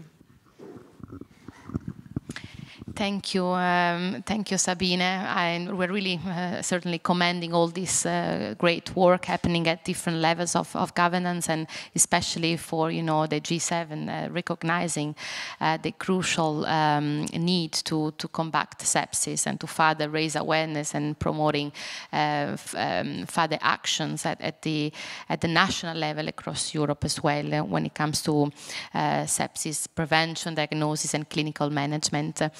Uh, but before I also ask you uh, another questions, uh, is there any questions from, from the floor here, but also from our online audience that we could ask uh, the panelists today? Yes. I kindly ask you to please introduce yourself before asking the question. Thank you. Well, maybe it's not a question, just a brief statement beforehand. Uh, my name is Ulrika Pripa. I'm chairman of the European Sepsis Alliance working group of, uh, we say patients, but actually sepsis survivors and family members. Uh, the working group was set up in 2019, one year later, because we've uh, uh, realized that, and I'm actually surrounded by, by sepsis survivors on my right, my, my, my husband, Tereza, Michael, maybe anyone else, but we've realized that uh, uh, often uh, we're speaking about theoretical uh, things, sepsis, and only by uh, bringing this type of uh, cases stepping out, that people understand that sepsis can affect anyone, any age, at any time, by any disease. But if we have a knowledge and if we're empowered, we can save lives of our loved ones and our family. Because what is happening is the burden is all, uh, often is on the people who survive sepsis. If they're alive, uh, they're usually amputated or have the, the long post-sepsis uh, uh, burdens and on their family ones. Uh, if you don't receive a coffin, uh, because it happens very quickly in ICU, sepsis is an emergency. It takes life in, in, in, in a couple of days. But sepsis is also the most preventable cause of death. And that's why we started to speak up. So actually what we are calling is for mandatory uh, guidelines in place in European hospitals. So my question, is that possible? You know, and Professor said that we have, we have so, many, so much research and we have uh, so many, we know the problem, but we are ready to come forward with the solutions and even share more and more and maybe to start from that at every single part of the chain, be it at GP, emergency, ICU, afterwards, that people are caught because everyone thinks that European health uh, system is sepsis proven. It is not.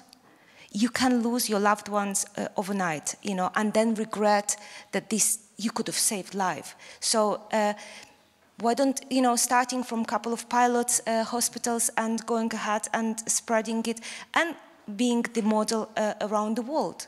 So that's my statement and maybe uh, an open question. Thank you so much.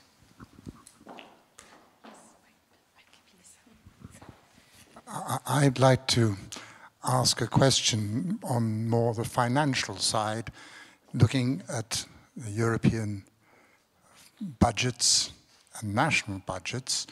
We've talked about preventing sepsis, awareness, but one thing that has not been addressed much to my knowledge in different countries is the cost of revalidation of patients who have survived sepsis.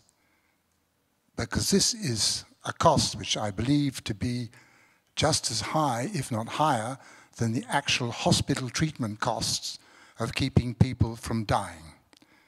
So what is likely to position in Europe in terms of looking at the budget requirements for post-sepsis revalidation? Thank you.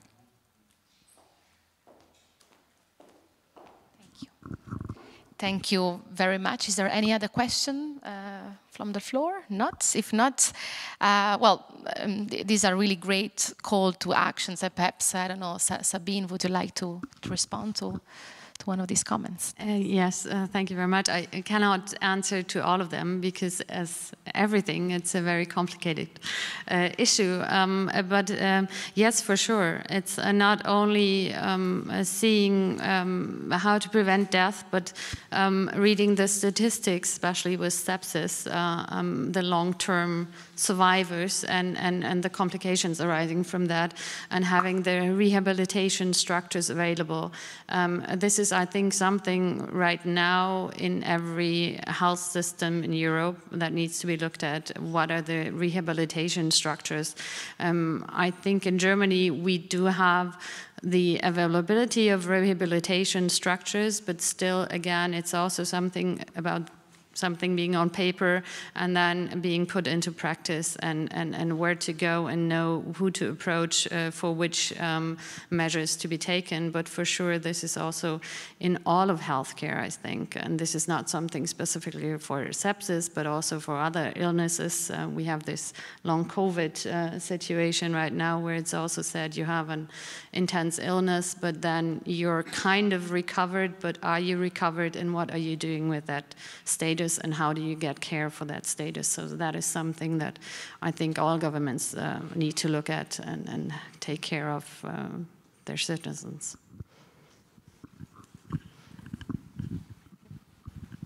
Yeah. Um, first of all, let me say something about uh, the costs, because um, this is not you know, my, my, general area, but I think what is really important is, of course, uh, health economic calculations and evaluations. And, and that was actually done, even though it's quite specific for, for the Swedish clinical pathway, uh, which is composed, as, as Adam mentioned, it, it's composed of, of um, three parts, which is uh, sepsis alerts uh, for you know, comprehensive and, and, and fast uh, management and, and uh, the second part, I will come back to that maybe, is, is the correct coding for follow-up. And then the third one is follow-up of, of patients after discharge. So this is, I mean, this is included, this is a needs-based um, pathway. The, this multidisciplinary working group actually first looked at the needs in the Swedish context.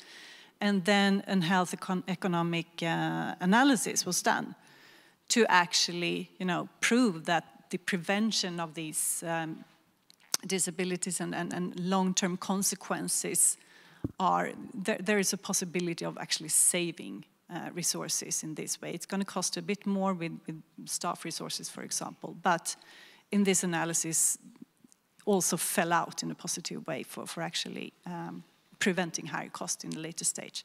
So I think this is a good example. And I think we need more of that. Also in the AMR area, we need more, you know, we, we need to know the cost of inaction.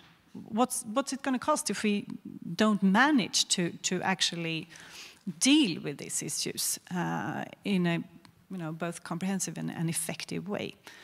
So that's one part. Uh, when it comes to, to guidelines, as I said, said earlier, I think guidelines are good and, and it shouldn't be impossible to actually have guidelines in all hospitals, right? But again, I think the, the trickiest part is the change of behavior. That is to, to really implement the guidelines and, and not only assure that people start following them, but also to, to maintain the adherence. And for this, I think uh, better surveillance and data is probably essential. Uh, I can uh, develop a lot on that. Yes, certainly there is no silver bullets, but uh, a set of you know key recommendations and solutions. Perhaps uh, Professor Cavaillon, do you also want, wish to to complement?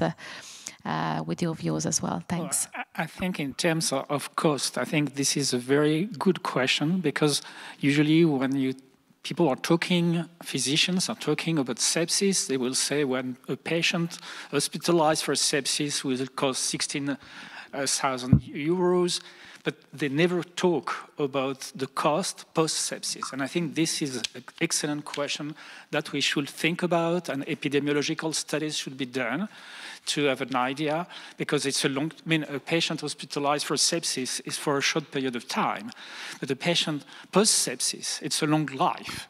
And if there are uh, costs for that, I mean, the society has to be aware just to sensitize the politicians that if we deal with a preventable disease, we also could limit the cost of the post, uh, post I, was, I, was ready to say post-COVID because interestingly, uh, as I said, a, there is a major overlapping. And just a word about this post-COVID. I mean, at the very beginning, the physicians were not believing their patients. They were complaining and they were not believing their patients.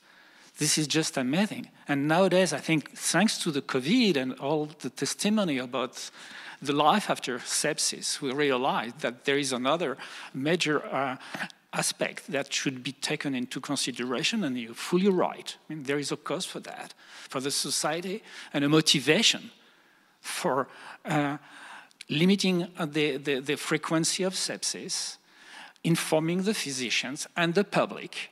Because the story, I mean, the, the story of this lady who lost her son, she discovered sepsis afterward but she was just close to her son and describing all the symptoms. And she was realizing that something wrong were going on. And she talked with the nurses, and they didn't take into consideration her observation. But a normal nurse informed about sepsis would have said, well, she's right. She's not crazy, this mother. The, the nurse asked the mother to leave the room because she thought that she was had a bad influence on her son. So, I mean, clearly, information of the public, of the nurse, on all the public health carrier uh, people are involved in, in health at all stage should know about sepsis and taking care of sepsis, just to limit the cost. Thank you. Thank you so much for these powerful messages that you all have given us with, uh, today. I would love to discuss more, so to take more, more questions, but conscious of time, um, we have also the uh, WHO representative who is joining us today uh, virtually. And we're really grateful for the continuous support of the WHO, both uh, the, the headquarters in Geneva and the regional uh, office of the WHO. And now I will hand the floor to uh, Dr. João Breda, who is a special advisor of the WHO Europe uh, regional director for the establishment, establishment of sub-regional offices and is based in Greece. Uh, until recently, he headed also the WHO European Office for the Prevention and Control of Non-Communicable Diseases. So it's a real pleasure to now hand the floor to uh, Dr. João Breda. I hope that he can hear us. Okay.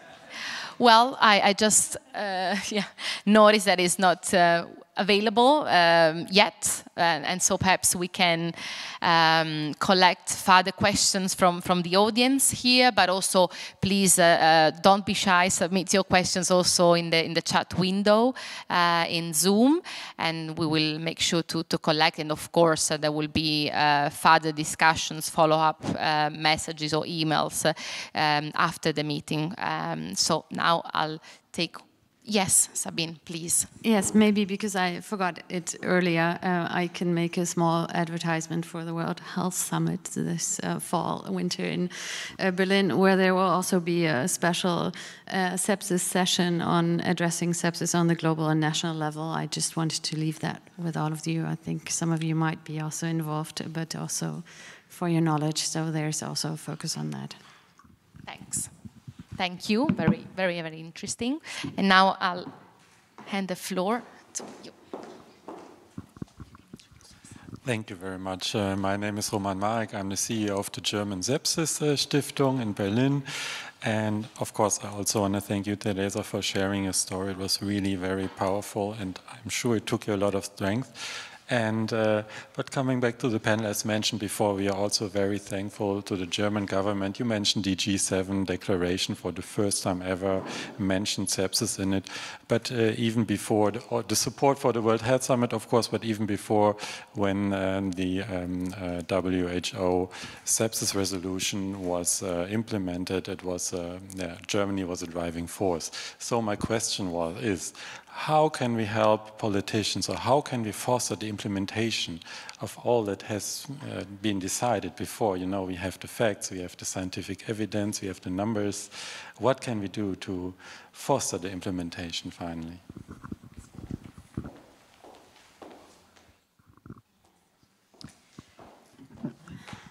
Yes, um, again, complicated question. Um, uh, be, uh, seeing as, uh, and I don't want to say that um, time stopped a little bit uh, for normal measures, but we did have a pandemic, and unfortunately, uh, and I'm still seeing that there is still a pandemic, uh, um, and this has also had a significant effect on everything in everybody and working in the governments and, and the focus that uh, was put on fighting the pandemic and, and therefore looking how to allocate resources. Uh, and right now I'm still seeing that in the ministries and all of the agencies, um, the pandemic is not over, so everybody is very hard at work and now trying to also do the normal uh, um, agenda, so to say, what needs to be done besides fighting the pandemic.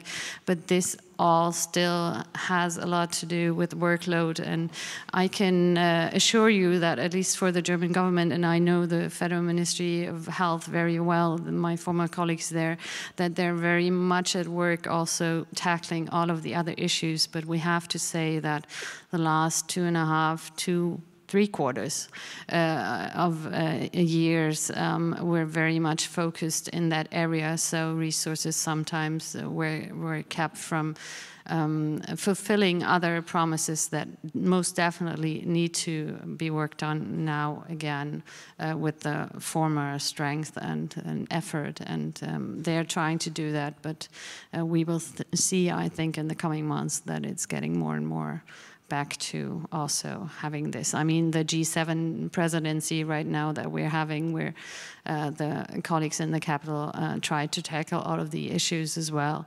Um, but it's a step in progress. And it's not only um, that I don't want to focus uh, too much on the ministries and agencies, but it's also for the hospitals and all of the uh, people working in healthcare that they um, uh, need to even uh, try to keep up with the works they have because of the uh, things they have to do right now and the pressures. So it's uh, not easy, but it's one step at a time, I think. Absolutely. Please. now I have the chance to come back to data, right? Uh, but I think it is important actually, because, and, and that's another experience from the uh, from the pandemic. To to all the time see the numbers is what makes both politicians and and general public to react and act.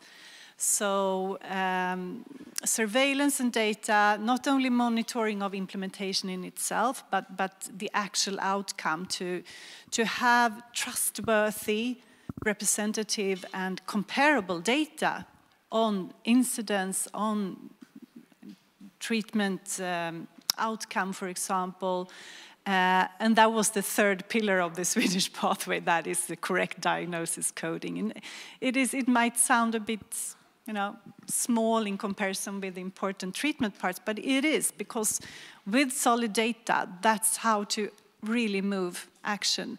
And it's not only for, for awareness raising, uh, though I think this is important, but it's also for, I mean, for the design of intervention. You have to know your situation and context before you can actually say how to move forward and, and what to implement.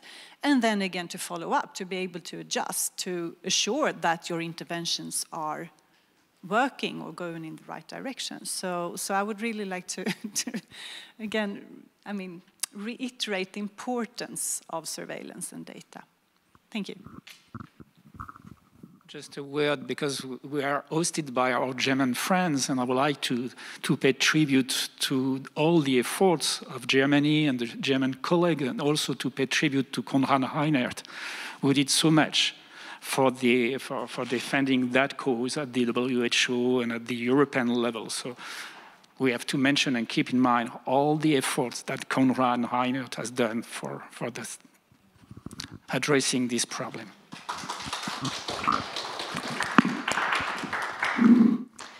Thank you. Thank you very much. Um, we have another questions. Yes, a very short one. Yes.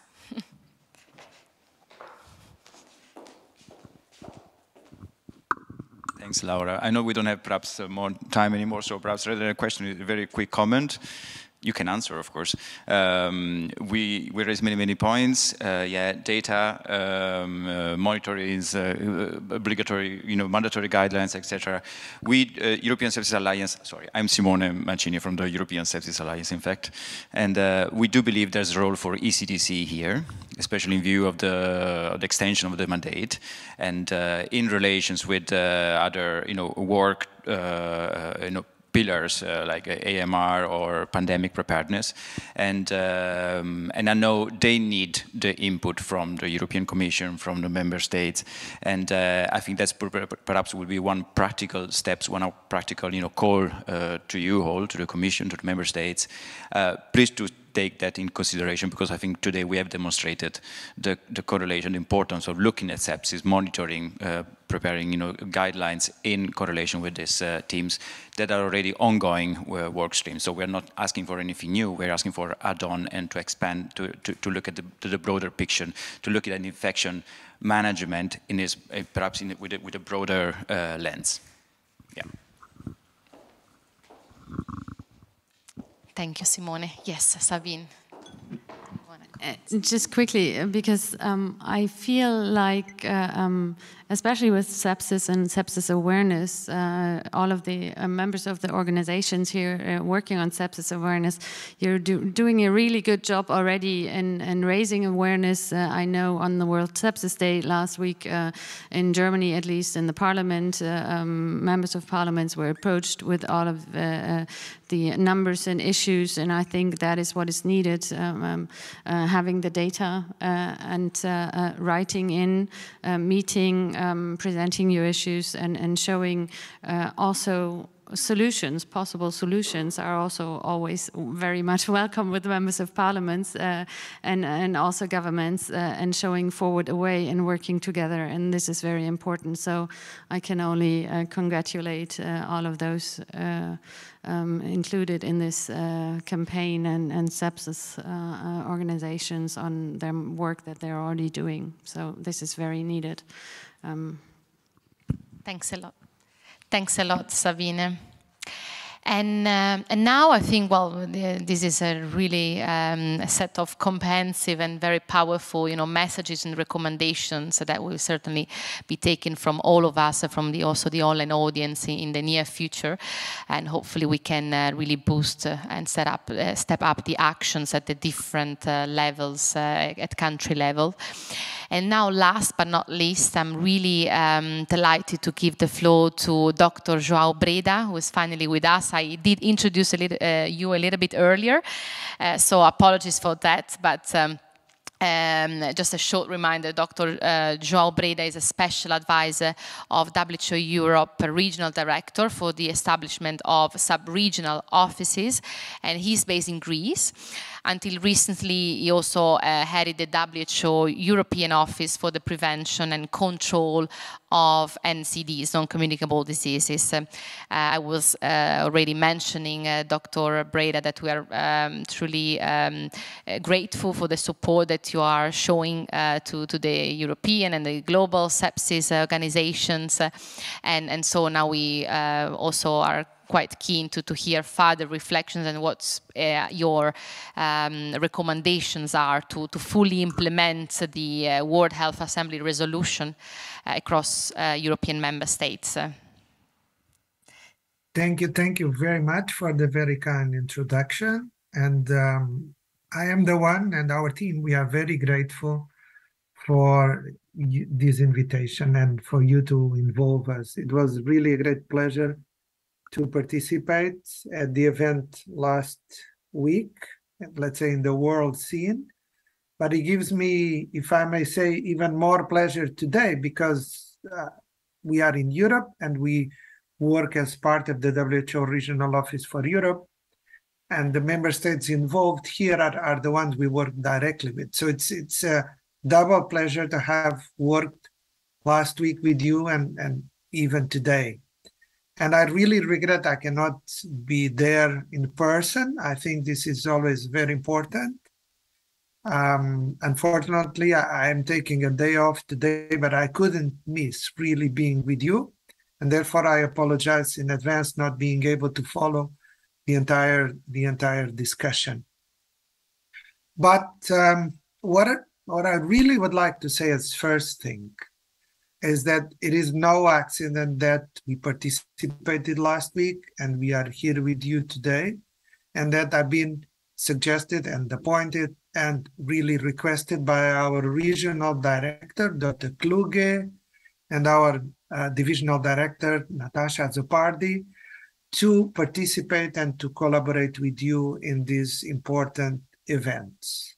It's really um, an agenda which is coming out very nicely. And we, as people responsible for quality of care and in providing support to quality of care for European member states, we take this very serious and we believe that this uh, area of work is extremely important. So full support. We see with excitement how many uh, stakeholders you're able to engage and how much you've been really able to move forward with the agenda, which is, of course, we're always competing with something. We all have uh, striking figures when we're talking about health, whatever the areas where we are. But I think that we are, you are working on this very nicely. and we are delighted to be part of this team. As a way of maybe summarizing the discussions we've been involved in the last weeks, maybe I ask you to share my next slide, uh, really to sort of try to, if I could get the next one. Yes, I mean, here, really, we all understand that we have this uh, challenge of um, moving forward, but it's always very difficult without having the right data. The colleague from Sweden, I suppose, I really uh, associate with that motion with the statement that data is very important. Of course, we need to focus on the clinical features and the prevention and all of that, but we really need to use the data if you want to move forward with advocacy. I'm not going to go into detail, but we also know about it's, uh, I think, crystal clear the morbidity and the mortality related with this problem, and therefore we need really to address it properly. It has a serious contribution in terms of the SDGs. Particularly, we are very concerned with mother and child mortality. This is very serious in parts of our region, mostly in Eastern European countries. As you may know, for example, Central Asia and Republican Caucasus countries are part of the WHO European region. And here, it's in a way a different ballgame. These countries are a different situation compared with the most advanced and the richest EU countries. So a lot to be done to achieve SDGs, and therefore uh, we also uh, we, we need to take this very seriously. Not only the SDG 3 related with health, but also others, notably those related with inequalities, eventually SDG SDG 10. We also say no UHC without quality and sepsis and infection prevention and control, all these aspects dealing with this is a matter of really concern for uh, UHC. Therefore, we really need to, we have the context, which is very important, and we have the opportunity really to make the case. Next slide, please. So in a nutshell, the evidence was always there we know how important the problem is. We need the, the political support, which we got at the World Health Assembly. Then, first with you know with DB resolutions, and then moving on to the WHO, and and and uh, then with global action plan on patient safety, which incorporates a lot of important elements uh, that concern the topic at stake here today. I wouldn't say it's complete and gives us the full picture, but we do have very good hankers at the political level to advocate globally, European, but more important, at the national, at the subnational, and the facility level for more action. Next slide, please. So the evidence is there now, and and the and let's say the the mandate is there for WHO as well, crystal clear. We need to do more at local and facility level. We need to support member states and the professionals. One of the things as an illustration we are doing, for example, moving forward in quality and the different dimensions of quality, which as you know are like six, I'm not going to repeat it, is all relevant for uh, the topic at stake uh, that we have here in our hands. Just as an example, the Primary Health Care for Children and Adolescents pocket book that we issued a few months ago really incorporates very clear guidance to deal with these problems at the facility, at the sub-regional, sub-national, and national level. So we are actually moving into practical aspects. We're walking the talk in terms of putting the effort where our mouth is, and we're also moving into PHC. Last week, a lot of people talking about PHC. This is not by far only about hospitals. It's very important that we go down to PHC as, as really uh, the entry point and the first um, dimension where we need to address the topic. Next slide, please. So really moving forward with uh, working on uh, the different levels of the health system, the different players, but also in our office in Athens, we are very much looking forward to the, uh, let's say, uh, you know, the novelty, the innovation aspect, going the extra mile. As we support with the traditional aspects, we really need to look into new ways of addressing these issues, notably, uh, namely about around sepsis. Therefore, aspects like harnessing the power of digital, working on uh, artificial intelligence and other aspects, social innovations that allow us to, for example, tackle um, the needs of the vulnerable groups, which are, of course, way more vulnerable to, and pardon the repetition, to issues related with, with sepsis is very important.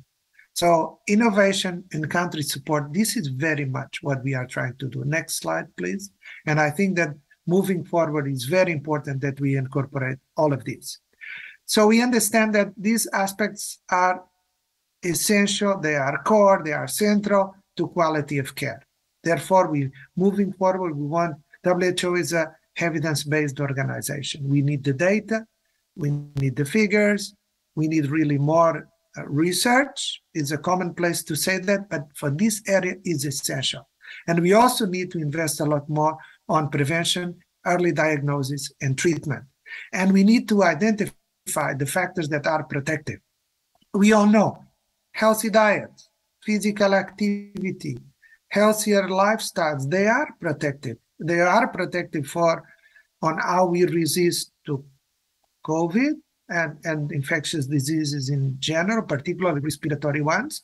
They are not, of course, a silver bullet, but they are important. So you're looking at health in an holistic method. It's very important.